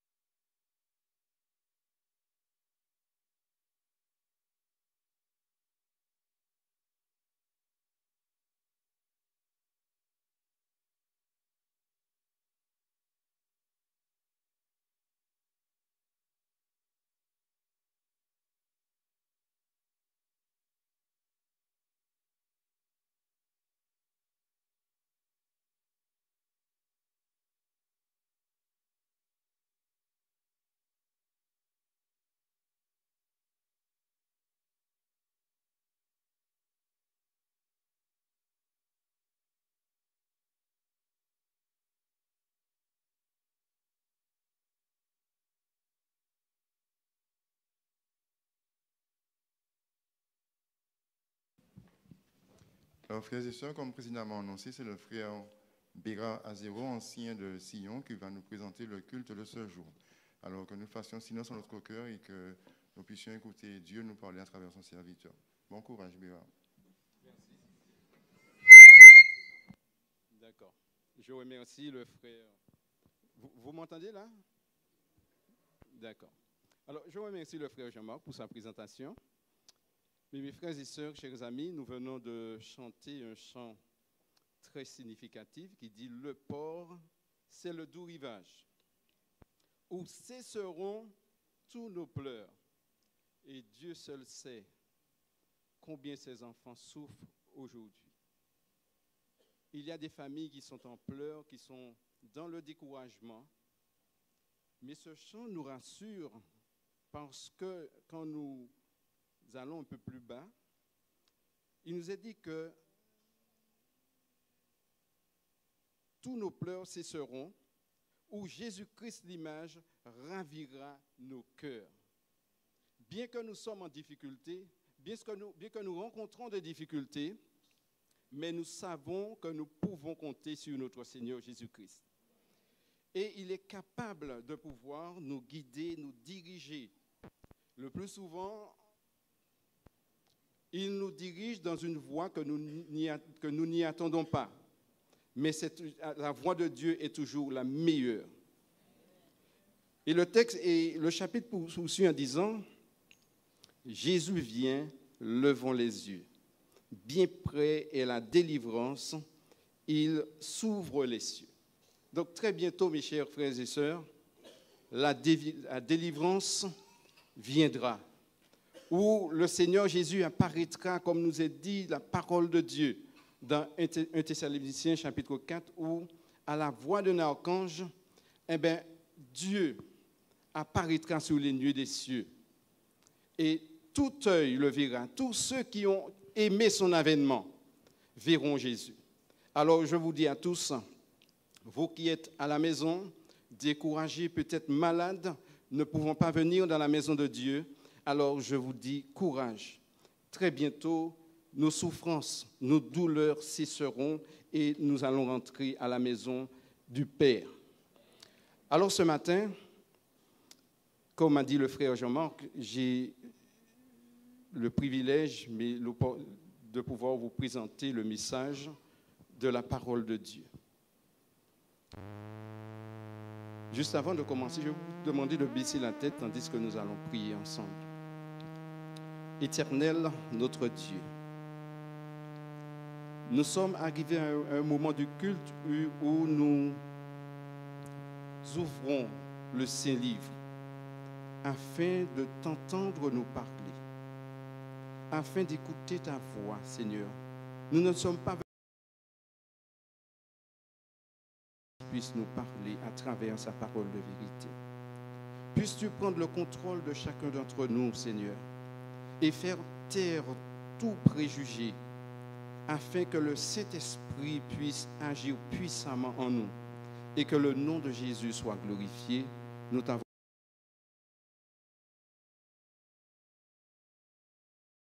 Alors, j'ai titré le message de ce midi La colère de Dieu. Je vais vous inviter d'ouvrir votre Bible dans le livre d'Hébreu. Hébreu, je vais demander à communication de nous faire parvenir les textes à l'écran. Hébreu chapitre 3, verset 7, le verset, vers- à partir du verset 7 jusqu'au verset 11. Alors, je vais lire directement sur l'écran. Ça me, me permettra de... Alors, il est dit à partir du verset 7, 7 c'est pourquoi, selon ce que dit le Saint-Esprit, aujourd'hui,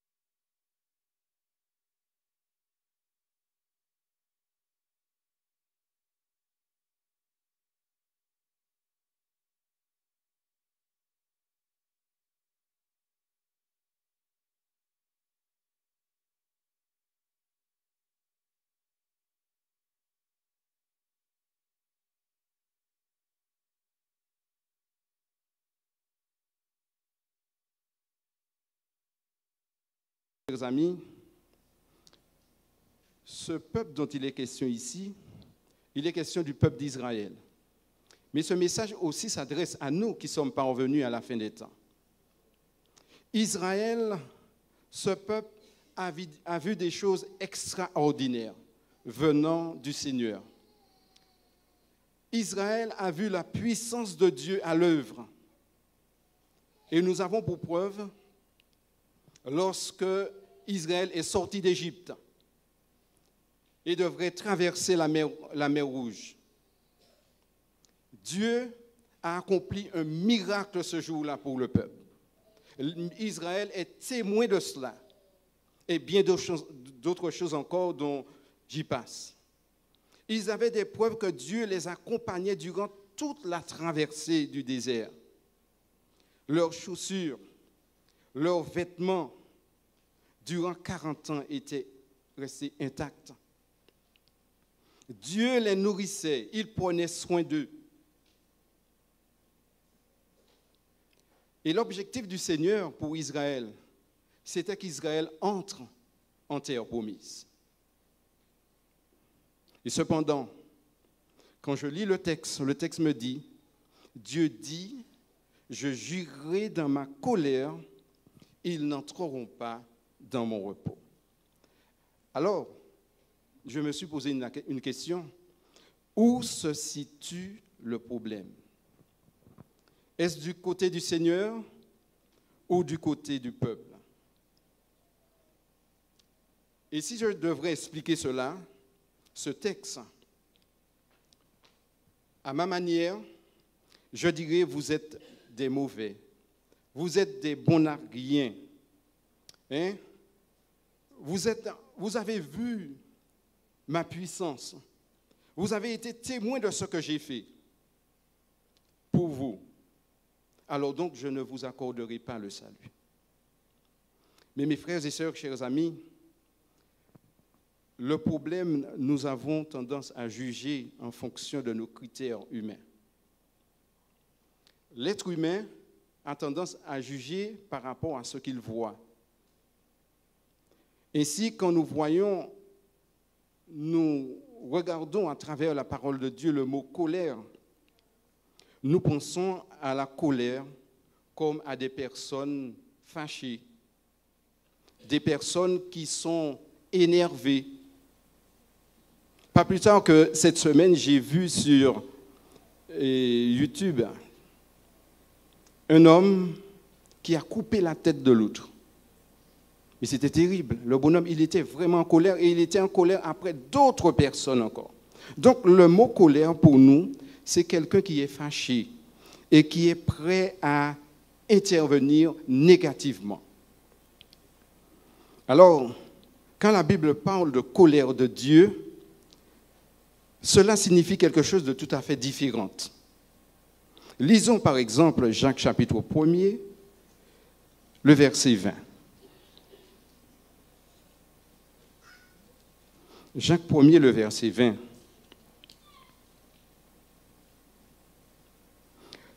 Le texte me dit, car la colère de l'homme n'accomplit pas la justice de Dieu. Est-ce que c'est ce que vous lisez dans votre Bible? Je ne vous ai pas entendu, mes frères et sœurs. Oui, le texte dit que la, colère de, de l'homme n'accomplit pas la justice de Dieu. La colère de l'homme n'accomplit pas la justice de Dieu. Donc, nous comprenons bien que la colère de l'homme est péché, puisqu'il n'accomplit pas la justice de Dieu. Lorsqu'un homme, se met en colère, il agit dans le contexte même du péché. Ce qui me laisse à dire, la colère de Dieu et la colère de l'homme ne sont pas. Et la Bible dit dans Isaïe 55, le verset 8 et au verset 9, car mes pensées ne sont pas vos pensées, mes voix ne sont pas vos voix, dit l'Éternel. Autant les cieux sont éloignés au-dessus de la terre, autant mes voix sont éloignées au-dessus de vos voix. Alors, donc, nous n'avons toujours pas répondu à notre question. Que signifie la colère de Dieu? Alors, je vous invite à tourner vos Bibles dans Romains. Romains chapitre 1er.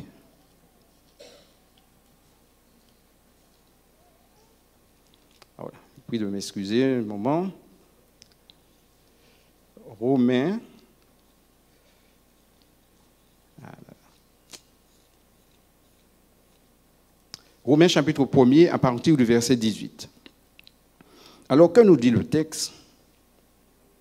Le texte nous dit, la colère de Dieu se révèle du ciel contre toute impiété et toute injustice des hommes qui retiennent injustement la vérité captive. L'apôtre Paul dit ici que la colère de Dieu se révèle du ciel, mais contre qui? Contre l'impiété, contre l'injustice. L'impiété, c'est quoi l'impiété? L'impiété, c'est j'ai une définition de la chose. Dieu me dit quelque chose, je suis au clair sur la chose, et que je décide de faire à ma manière selon ma conception des choses. C'est ça l'impiété, mes frères et sœurs. Et la Bible dit que Dieu, il est en colère contre ça. C'est d'agir ouvertement, en toute connaissance de cause. C'est ça l'impiété. Et Dieu dit qu'il est en colère. C'est-à-dire que je ne veux plus que Dieu soit mon maître. Je ne veux plus que, c'est lui qui me dirige, qui me donne la marche à suivre. Seigneur, que tu sois content ou pas, mais j'ai décidé ainsi de faire ainsi. C'est ça. C'est ça l'impiété. Agir en pleine connaissance de cause. C'est ce qu'ont fait les, Juifs lors de l'Exode. Vous comprenez bien, mes frères et sœurs. Quand Moïse leur a annoncé la parole de l'Éternel, parce que Moïse, il était l'intermédiaire entre Dieu et le peuple. Dieu l'avait choisi pour cela. Donc c'est lui qui disait au peuple comment marcher, comment avancer, quelles sont les choses qu'ils doivent mettre en place pour être agréables à l'Éternel? Et Moïse vint, il a été choisi et il annonce au peuple la voie à suivre. Et lorsqu'on va dans Exode chapitre 7 de- et 19, je vous invite à aller dans Exode chapitre 19 avec moi. Nous allons y revenir tout à l'heure dans Romains. Exode chapitre 19.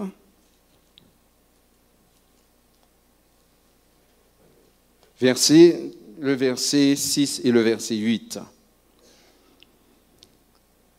Alors, il est dit, vous serez un royaume de sacrificateurs et une nation sainte. Il est parlé ici du peuple d'Israël. Voilà les paroles que tu diras aux enfants d'Israël. Moïse vint appeler les anciens du peuple et il mit devant eux toutes les paroles comme l'Éternel le lui avait ordonné. Et le verset 8, le peuple, le peuple tout entier répondit, nous ferons tout ce que l'Éternel avait a dit. Donc, on voit ici, en lisant ce texte, le peuple est au courant, le peuple n'est pas ignorant, le peuple sait, connaît la volonté de Dieu. Et lorsqu'on lit l'histoire, on rentre dans l'histoire, on se rend compte, ce même peuple qui a dit à Dieu que nous ferons tout ce que tu as dit, en quelque temps, quelque temps après, ce peuple s'est détourné de l'Éternel. Si bien qu'ils sont allés si loin en offrant des sacrifices à une idole qu'ils ont, qu'ils ont vraiment confectionnée. Donc, on voit que le peuple a agi en toute connaissance de cause. Mes amis, sommes-nous au clair sur la parole de Dieu? Nous qui depuis des années, peut-être pour certains 50 ans, 20 ans, 30 ans, une année, sommes-nous au clair sur l'engagement que nous avons pris avec le Seigneur? Je crois que oui. Parce qu'un jour, nous sommes venus ici devant toute l'Assemblée, les témoins, et nous avons dit ouvertement, je crois et j'adhère à ce qui m'est présenté. J'ai dit que je crois et je me rappelle le jour, ce n'était pas ici, mais je l'ai fait au Goumon. Je crois et je suis prêt à aller jusqu'au bout avec Dieu.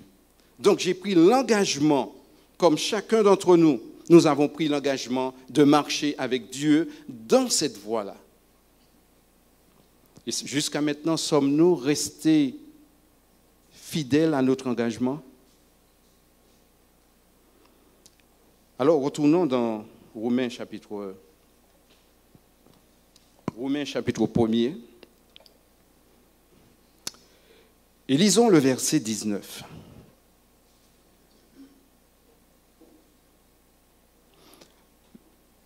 Le verset que nous avons lu au départ nous dit que la colère, au verset 18, la colère de Dieu se révèle du ciel contre toute impiété et toute injustice des hommes qui retiennent injustement la vérité captive. Le verset 19. Car ce qu'on peut connaître de Dieu est manifesté pour eux. Dieu les, les ayant fait connaître. En effet, les perfections invisibles de Dieu, sa puissance éternelle et sa divinité se voient comme à l'œil nu depuis la création du monde quand on les considère dans ses ouvrages. Quand je lis ce texte, j'ai du mal à comprendre, mes frères et sœurs.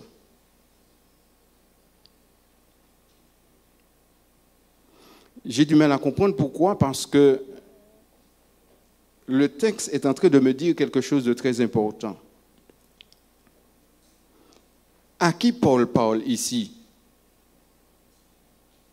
Est-ce que quelqu'un peut me dire à qui il adresse ces quelques paroles? Vous ne savez pas. Eh bien, Paul, il est en train de parler aux gentils, c'est-à-dire des personnes qui connaissent la volonté de Dieu. Mais comment ont-ils connu la volonté de Dieu? Et c'est ça qui est important. Est-ce que le message est un message audible ou ils ont entendu le message? Non. Reprenons le texte. Car ce qu'on peut connaître de Dieu est manifeste pour eux. Dieu les, ayant fait connaître, en effet, par la perfection invisible de Dieu. Sa puissance éternelle et sa divinité se voient comme à l'œil nu depuis la création du monde. Quand on les considère dans ses ouvrages, ils sont donc inexcusables. Mes amis, pour ce peuple, à mon avis, Dieu a accompli un miracle là. Ce peuple pouvait regarder la nature, pouvait regarder les animaux évoluer et connaître la volonté de Dieu. Si bien que l'apôtre Paul dit quelque chose lorsque nous remontons au verset, au verset, à partir du verset 14. Lisons ce que, ce que l'apôtre Paul dit. L'apôtre Paul dit, je me dois aux Grecs et aux barbares, aux savants et aux ignorants. Ainsi, j'ai un vif désir de vous annoncer l'évangile à vous qui êtes à Rome. Ça veut dire que Paul, il n'a pas encore prêché là. Mais il a ce désir. Et quand même, il dit que ce peuple est donc inexcusable. Parce que Dieu a accompli un miracle au milieu de ce peuple. Ce peuple pouvait regarder la nature et comprendre la volonté de Dieu. Mes chers amis, Jésus, Dieu est, il nous a tracé une voie que nous devrions suivre. Et ce Dieu-là, il tient à ce que nous puissions le suivre dans, la voie dont il a tracée pour nous. Parce qu'il sait très bien que lorsque nous prenons une autre voie, son issue, c'est la mort. Mais la voie que Dieu a tracée pour nous, c'est le chemin qui mène à la vie éternelle. Et quelquefois, ce chemin est resserré, rocailleux, mais il nous faut passer par là. Les gentils, pour une raison ou pour une autre, sont devenus inexcusables. Et quand vous lisez plus bas, à partir du verset 21, puisqu'ayant connu Dieu, ils ne l'ont point glorifié comme Dieu, et ils ne lui ont point rendu grâce, mais ils se sont égarés dans leurs pensées. Vous savez, la persécution fait des choses, et la maladie fait des choses aussi. Le plus souvent, lorsque nous sommes en contact avec ces choses, nous perdons foi, nous perdons courage. Mais je ne sais pas si c'est le cas de ce peuple. Mais ils connaissaient Dieu et ils n'ont point glorifié comme Dieu. Verset 22, verset 21, fin du verset 21. Mais ils se sont égarés dans leurs pensées et leur cœur sans intelligence a été plongé dans les ténèbres. Se vantant d'être sages, ils sont devenus fous. Ils, ont changé la gloire du Dieu incorrupti- incorruptible en image représentant l'homme corruptible, etc. Donc, mes, bien-aimés, la nature, comme je vous ai, dit, a apporté un message à ce peuple. Et nous savons ce que la Bible dit au sujet des écrits de, la parole de Dieu. Quand on lit un- un Timothée 3, verset 16, qu'est-ce qu'il est dit? Nous connaissons ce texte. Qu'est-ce qu'il est dit dans ce texte-là? Toute écriture est inspirée de Dieu, utile pour enseigner, pour convaincre, pour corriger dans la justice. Ça veut dire, mes amis, lorsque nous lisons notre Bible, nous sommes au clair sur la marche à suivre. C'est pourquoi Dieu dit qu'il a inscrit écrit la loi dans nos cœurs. Et cette loi-là, la Bible la confirme. Et nous pouvons marcher comme le Seigneur le désire. Alors donc, l'écriture que Dieu nous a donnée nous permet de connaître la volonté de Dieu. Mais les gentils n'avaient pas les écritures. Et cependant, ils ont été, selon la décla- la déclaration de Paul, inexcusables. À plus forte raison, nous qui, avons les écrits de l'esprit de prophétie, nous qui avons leur témoignage, qui avons la Bible et l'expérience des pionniers, souvent nous oublions cela. Ceux qui nous ont précédés, eh bien, nous sommes, sommes-nous excusables?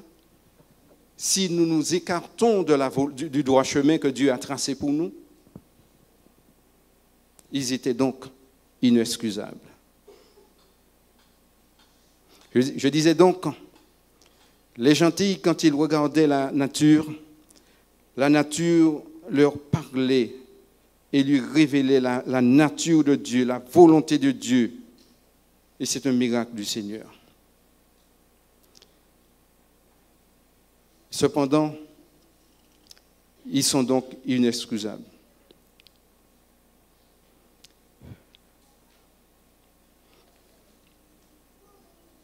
Alors, lorsque nous nous écartons de Dieu, de la voie que Dieu a tracée pour nous, que fait Dieu quand il nous voit nous détourner de lui? Est-ce qu'il est là en train de dire, bon ben, je vais faire descendre le feu sur vous? Je me rappelle les disciples, ils n'ont pas été reçus lors d'un passage missionnaire. Et ils ont dit à, Jésus, mais ces gens-là ne nous ont pas reçus. Est-ce que vraiment nous ne pouvions pas faire descendre le feu sur eux et les terrasser pour tous? Vous vous rappelez de la réponse de Jésus, vous ne savez pas de quel esprit vous êtes animé. Nous servons un Dieu compatissant, un Dieu qui nous aime, qui exerce la miséricorde. Je me rappelle lorsque Moïse a demandé à Dieu de voir sa face. Dieu lui a dit, l'homme ne peut pas voir ma face et vivre. Mais quand Dieu est passé devant lui, de dos, il a vu, il a dit, Seigneur, miséricorde, Dieu compatissant, là, la colère. Donc il n'avait pas les mots pour expliquer la bonté de Dieu. Et ce Dieu-là, lorsque nous, nous détournons de lui, que fait-il? Retournons toujours dans, Romains chapitre 1er, le verset 4 24. Dieu dit ceci. C'est pourquoi Dieu les a livrés à l'impureté selon la convoitise de leur cœur, en sorte qu'ils dé- déshonorent eux-mêmes le propre corps, eux qui ont changé la vérité en mensonge et qui ont adoré et servi la créature au lieu du Créateur, qui est béni éternellement. C'est pourquoi Dieu les a livrés à des passions infâmes, car leurs femmes ont changé l'usage naturel en celui qui est contre nature. Et de même, les hommes abandonnent l'usage naturel de la femme, se sont enflammés dans leurs désirs les uns pour les autres, commettant homme avec homme des choses infâmes et recevant eux-mêmes le salaire que méritait leur égarement comme ils ne se sont pas souciés de connaître Dieu, Dieu les a livrés à leur sens réprouvé pour commettre des choses indignes. Vous avez entendu? Dieu les a livrés.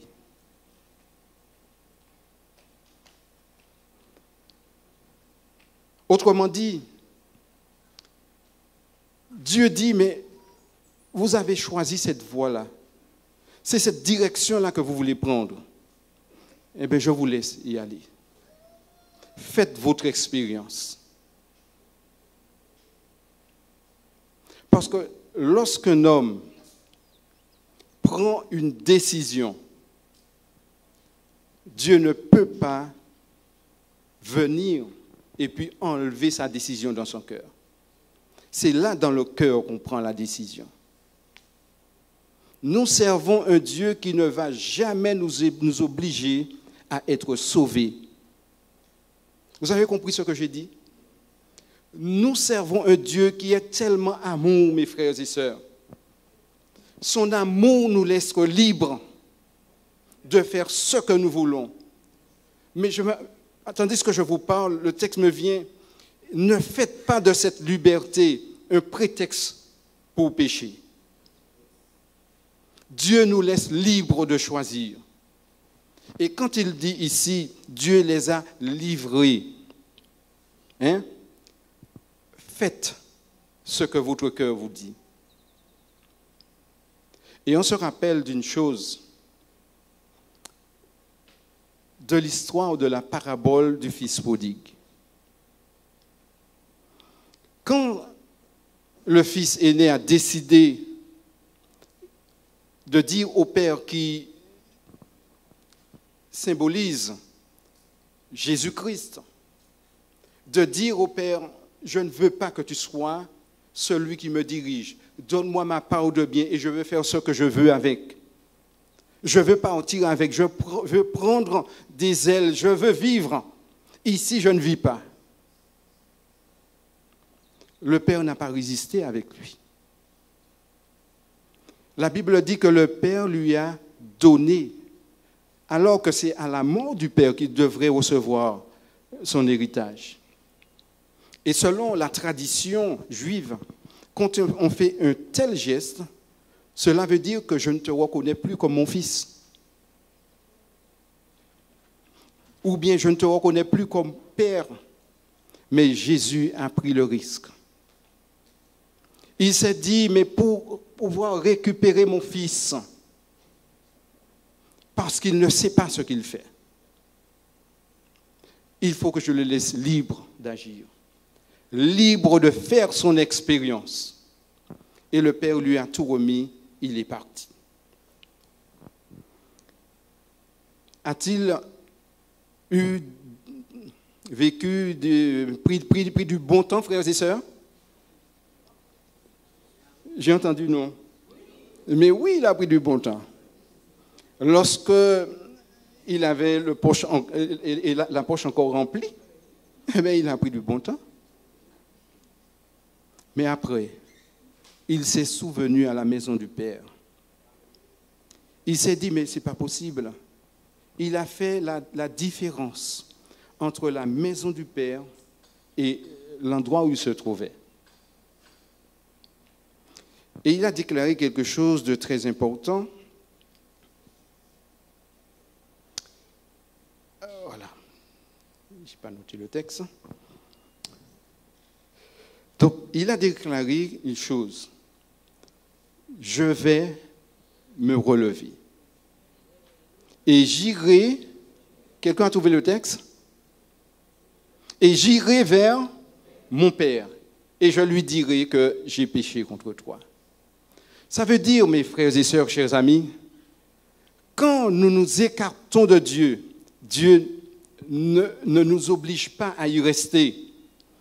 Nous sommes loin, mais Dieu veut que nous puissions avoir, puissions prendre une prise de conscience pour nous permettre de revenir. Et personne ne peut prendre cette décision-là pour nous. C'est nous qui devrions décider pour nous-mêmes.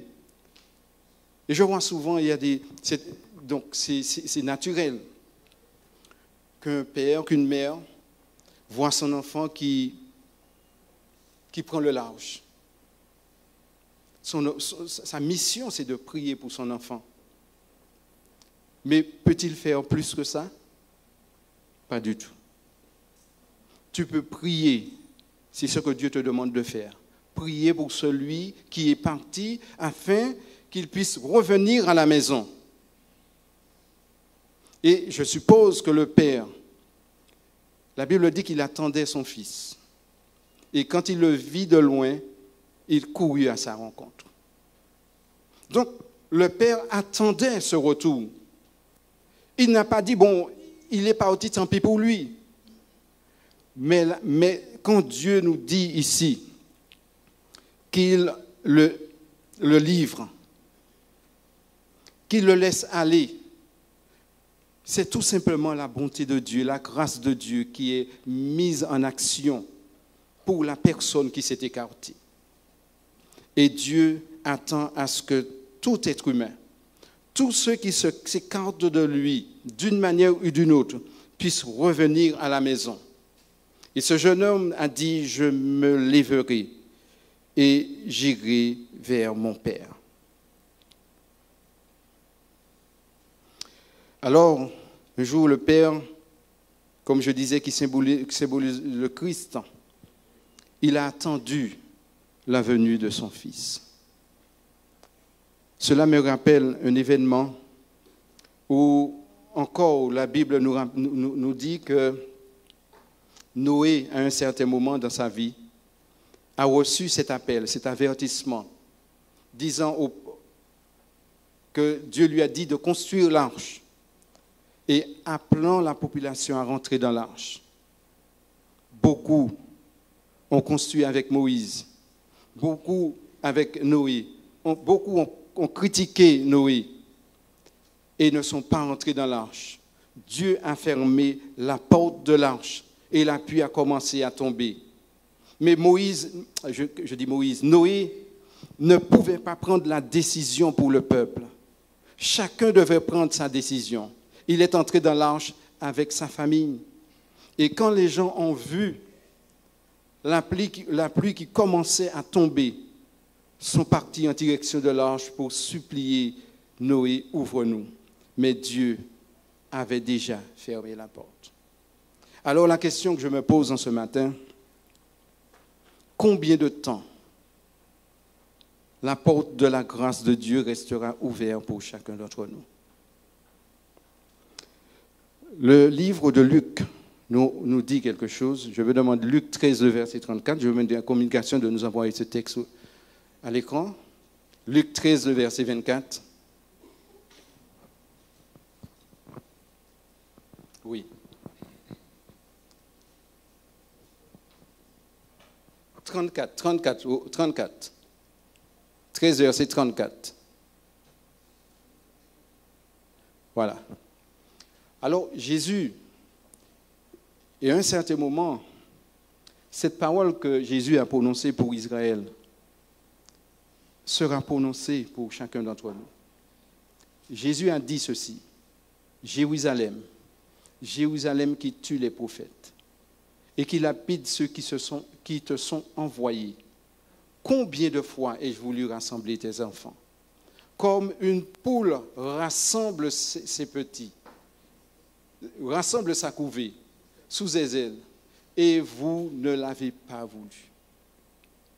Qu'est-ce que Dieu n'a pas fait pour nous, frères et sœurs? La Bible dit que Jésus-Christ, il est venu. Il est Dieu, mais il est venu, il s'est humilié. Il a pris notre place et il est allé à la croix, à notre place, pour chacun d'entre nous, afin que nous ayons la vie et la vie en abondance. Qu'est-ce que Dieu n'a pas fait pour nous? Qu'est-ce qu'il aurait dû faire et qu'il n'a pas fait? Il a tout fait. Il a vidé le ciel pour nous. Alors, si nous nous sentons écartés de lui, loin de lui, ses bras sont grand ouverts. Et il nous dit, mon enfant, reviens à la maison. Reviens, j'ai un programme pour toi. J'ai un plan pour toi et ce plan t'emmènera jusqu'à la vie éternelle. Alors, mes frères et sœurs, chers amis, ne voulons-nous pas venir à Jésus? Apocalypse 3, verset 20 nous dit, si quelqu'un entend ma voix et ouvre la porte, ce texte aurait pu dire, mais si vous entendez ma voix, non. Ce texte est individuel pour chacun d'entre nous. Si toi qui m'écoutes en ce matin, tu entends la voix de Dieu qui t'appelle, mon enfant, reviens à la maison, alors ne résiste pas. Dire, Seigneur Jésus, je suis prêt à venir tel que, tel que je suis. Et le Seigneur, il est prêt à nous accepter tel que nous sommes. Ne résistons pas. Parce que nous, nous ne savons pas de quoi sera fait demain. Cet homme dont j'ai vu la vidéo ne savait pas aujourd'hui qu'il ne serait plus dans ce monde. Et tant de personnes ont vu la semaine commencer et ne l'ont pas vu se terminer. Nous pouvons être aussi de cela. Mais ce matin, la grâce de Dieu est encore là. Et il nous appelle, nous disant, venez à moi. Jésus nous appelle à venir à lui tel que nous sommes. Alors mes frères, que le Seigneur en ce matin nous aide à comprendre cela, à saisir cette opportunité que Jésus nous lance. Ne résistons pas. Ne disons pas que j'ai une, une nouvelle lumière, j'ai des ressentiments de mon cœur, ce n'est pas comme ça que les choses doivent y aller. Les choses doivent aller à ma manière. Non. Dieu nous a donné sa parole.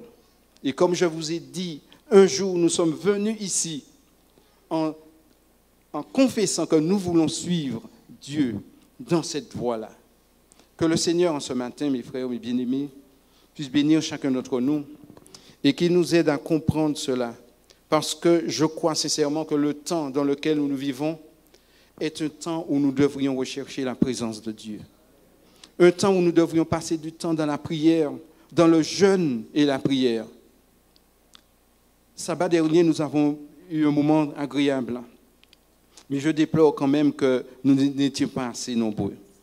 Alors, au niveau de la direction de l'Église, nous avons choisi de répéter ces moments parce que nous vivons un temps, nous ne pouvons pas passer ce temps-là dans, l'état où nous sommes, mes, mes bien-aimés. Le Seigneur revient. Il revient chercher une Église qui soit militante, une Église qui se consacre, qui le recherche par la prière et que la bénédiction de Dieu nous accompagne.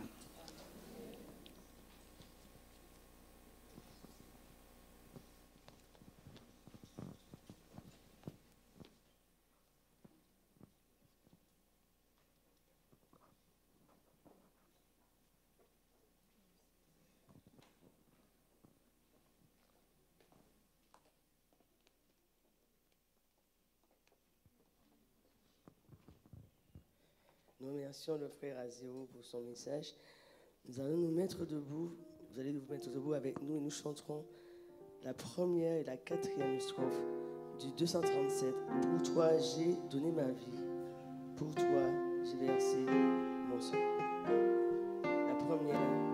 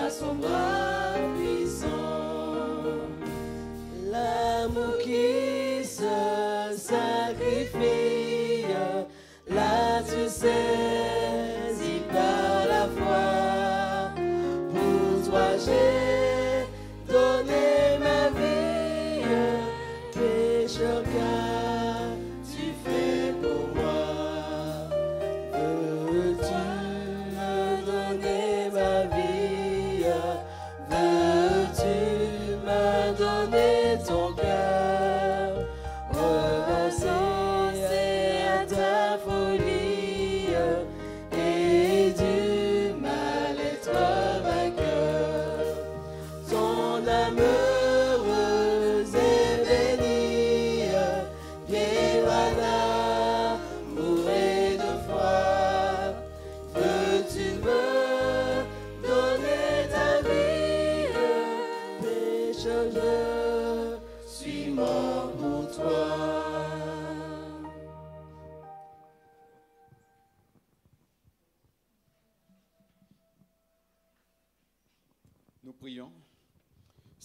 notre Dieu, notre Père, nous déposons toutes choses à tes pieds.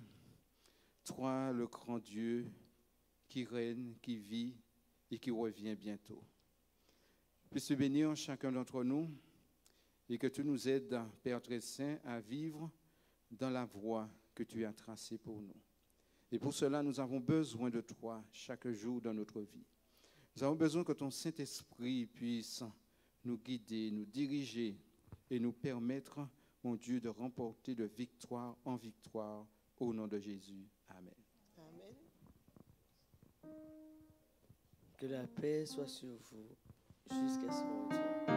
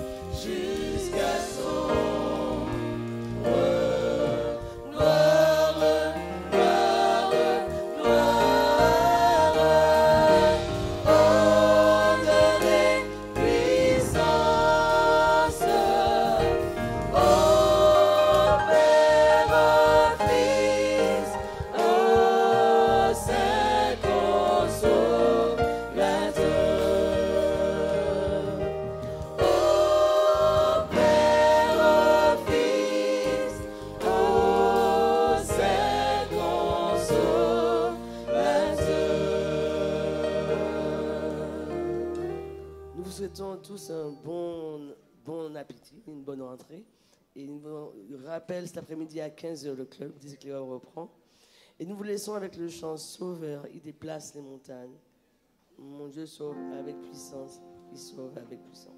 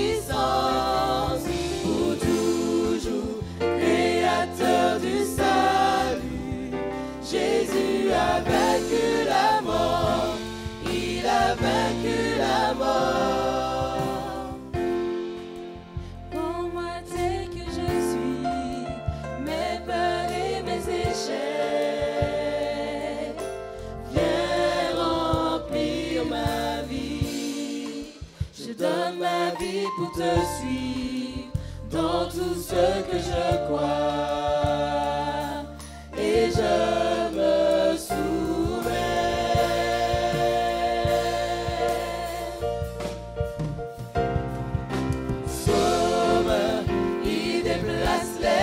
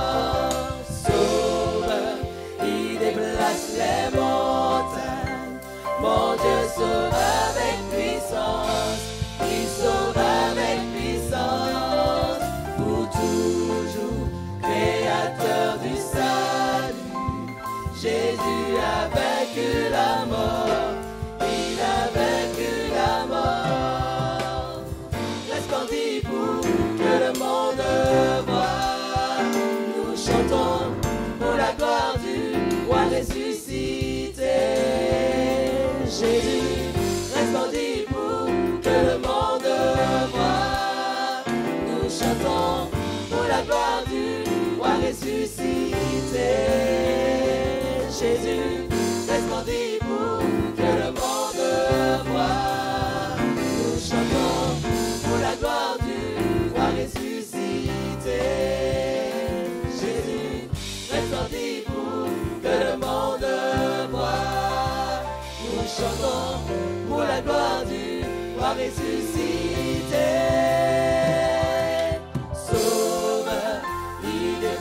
les montagnes. Mon Dieu sauve avec puissance, il sauve avec puissance.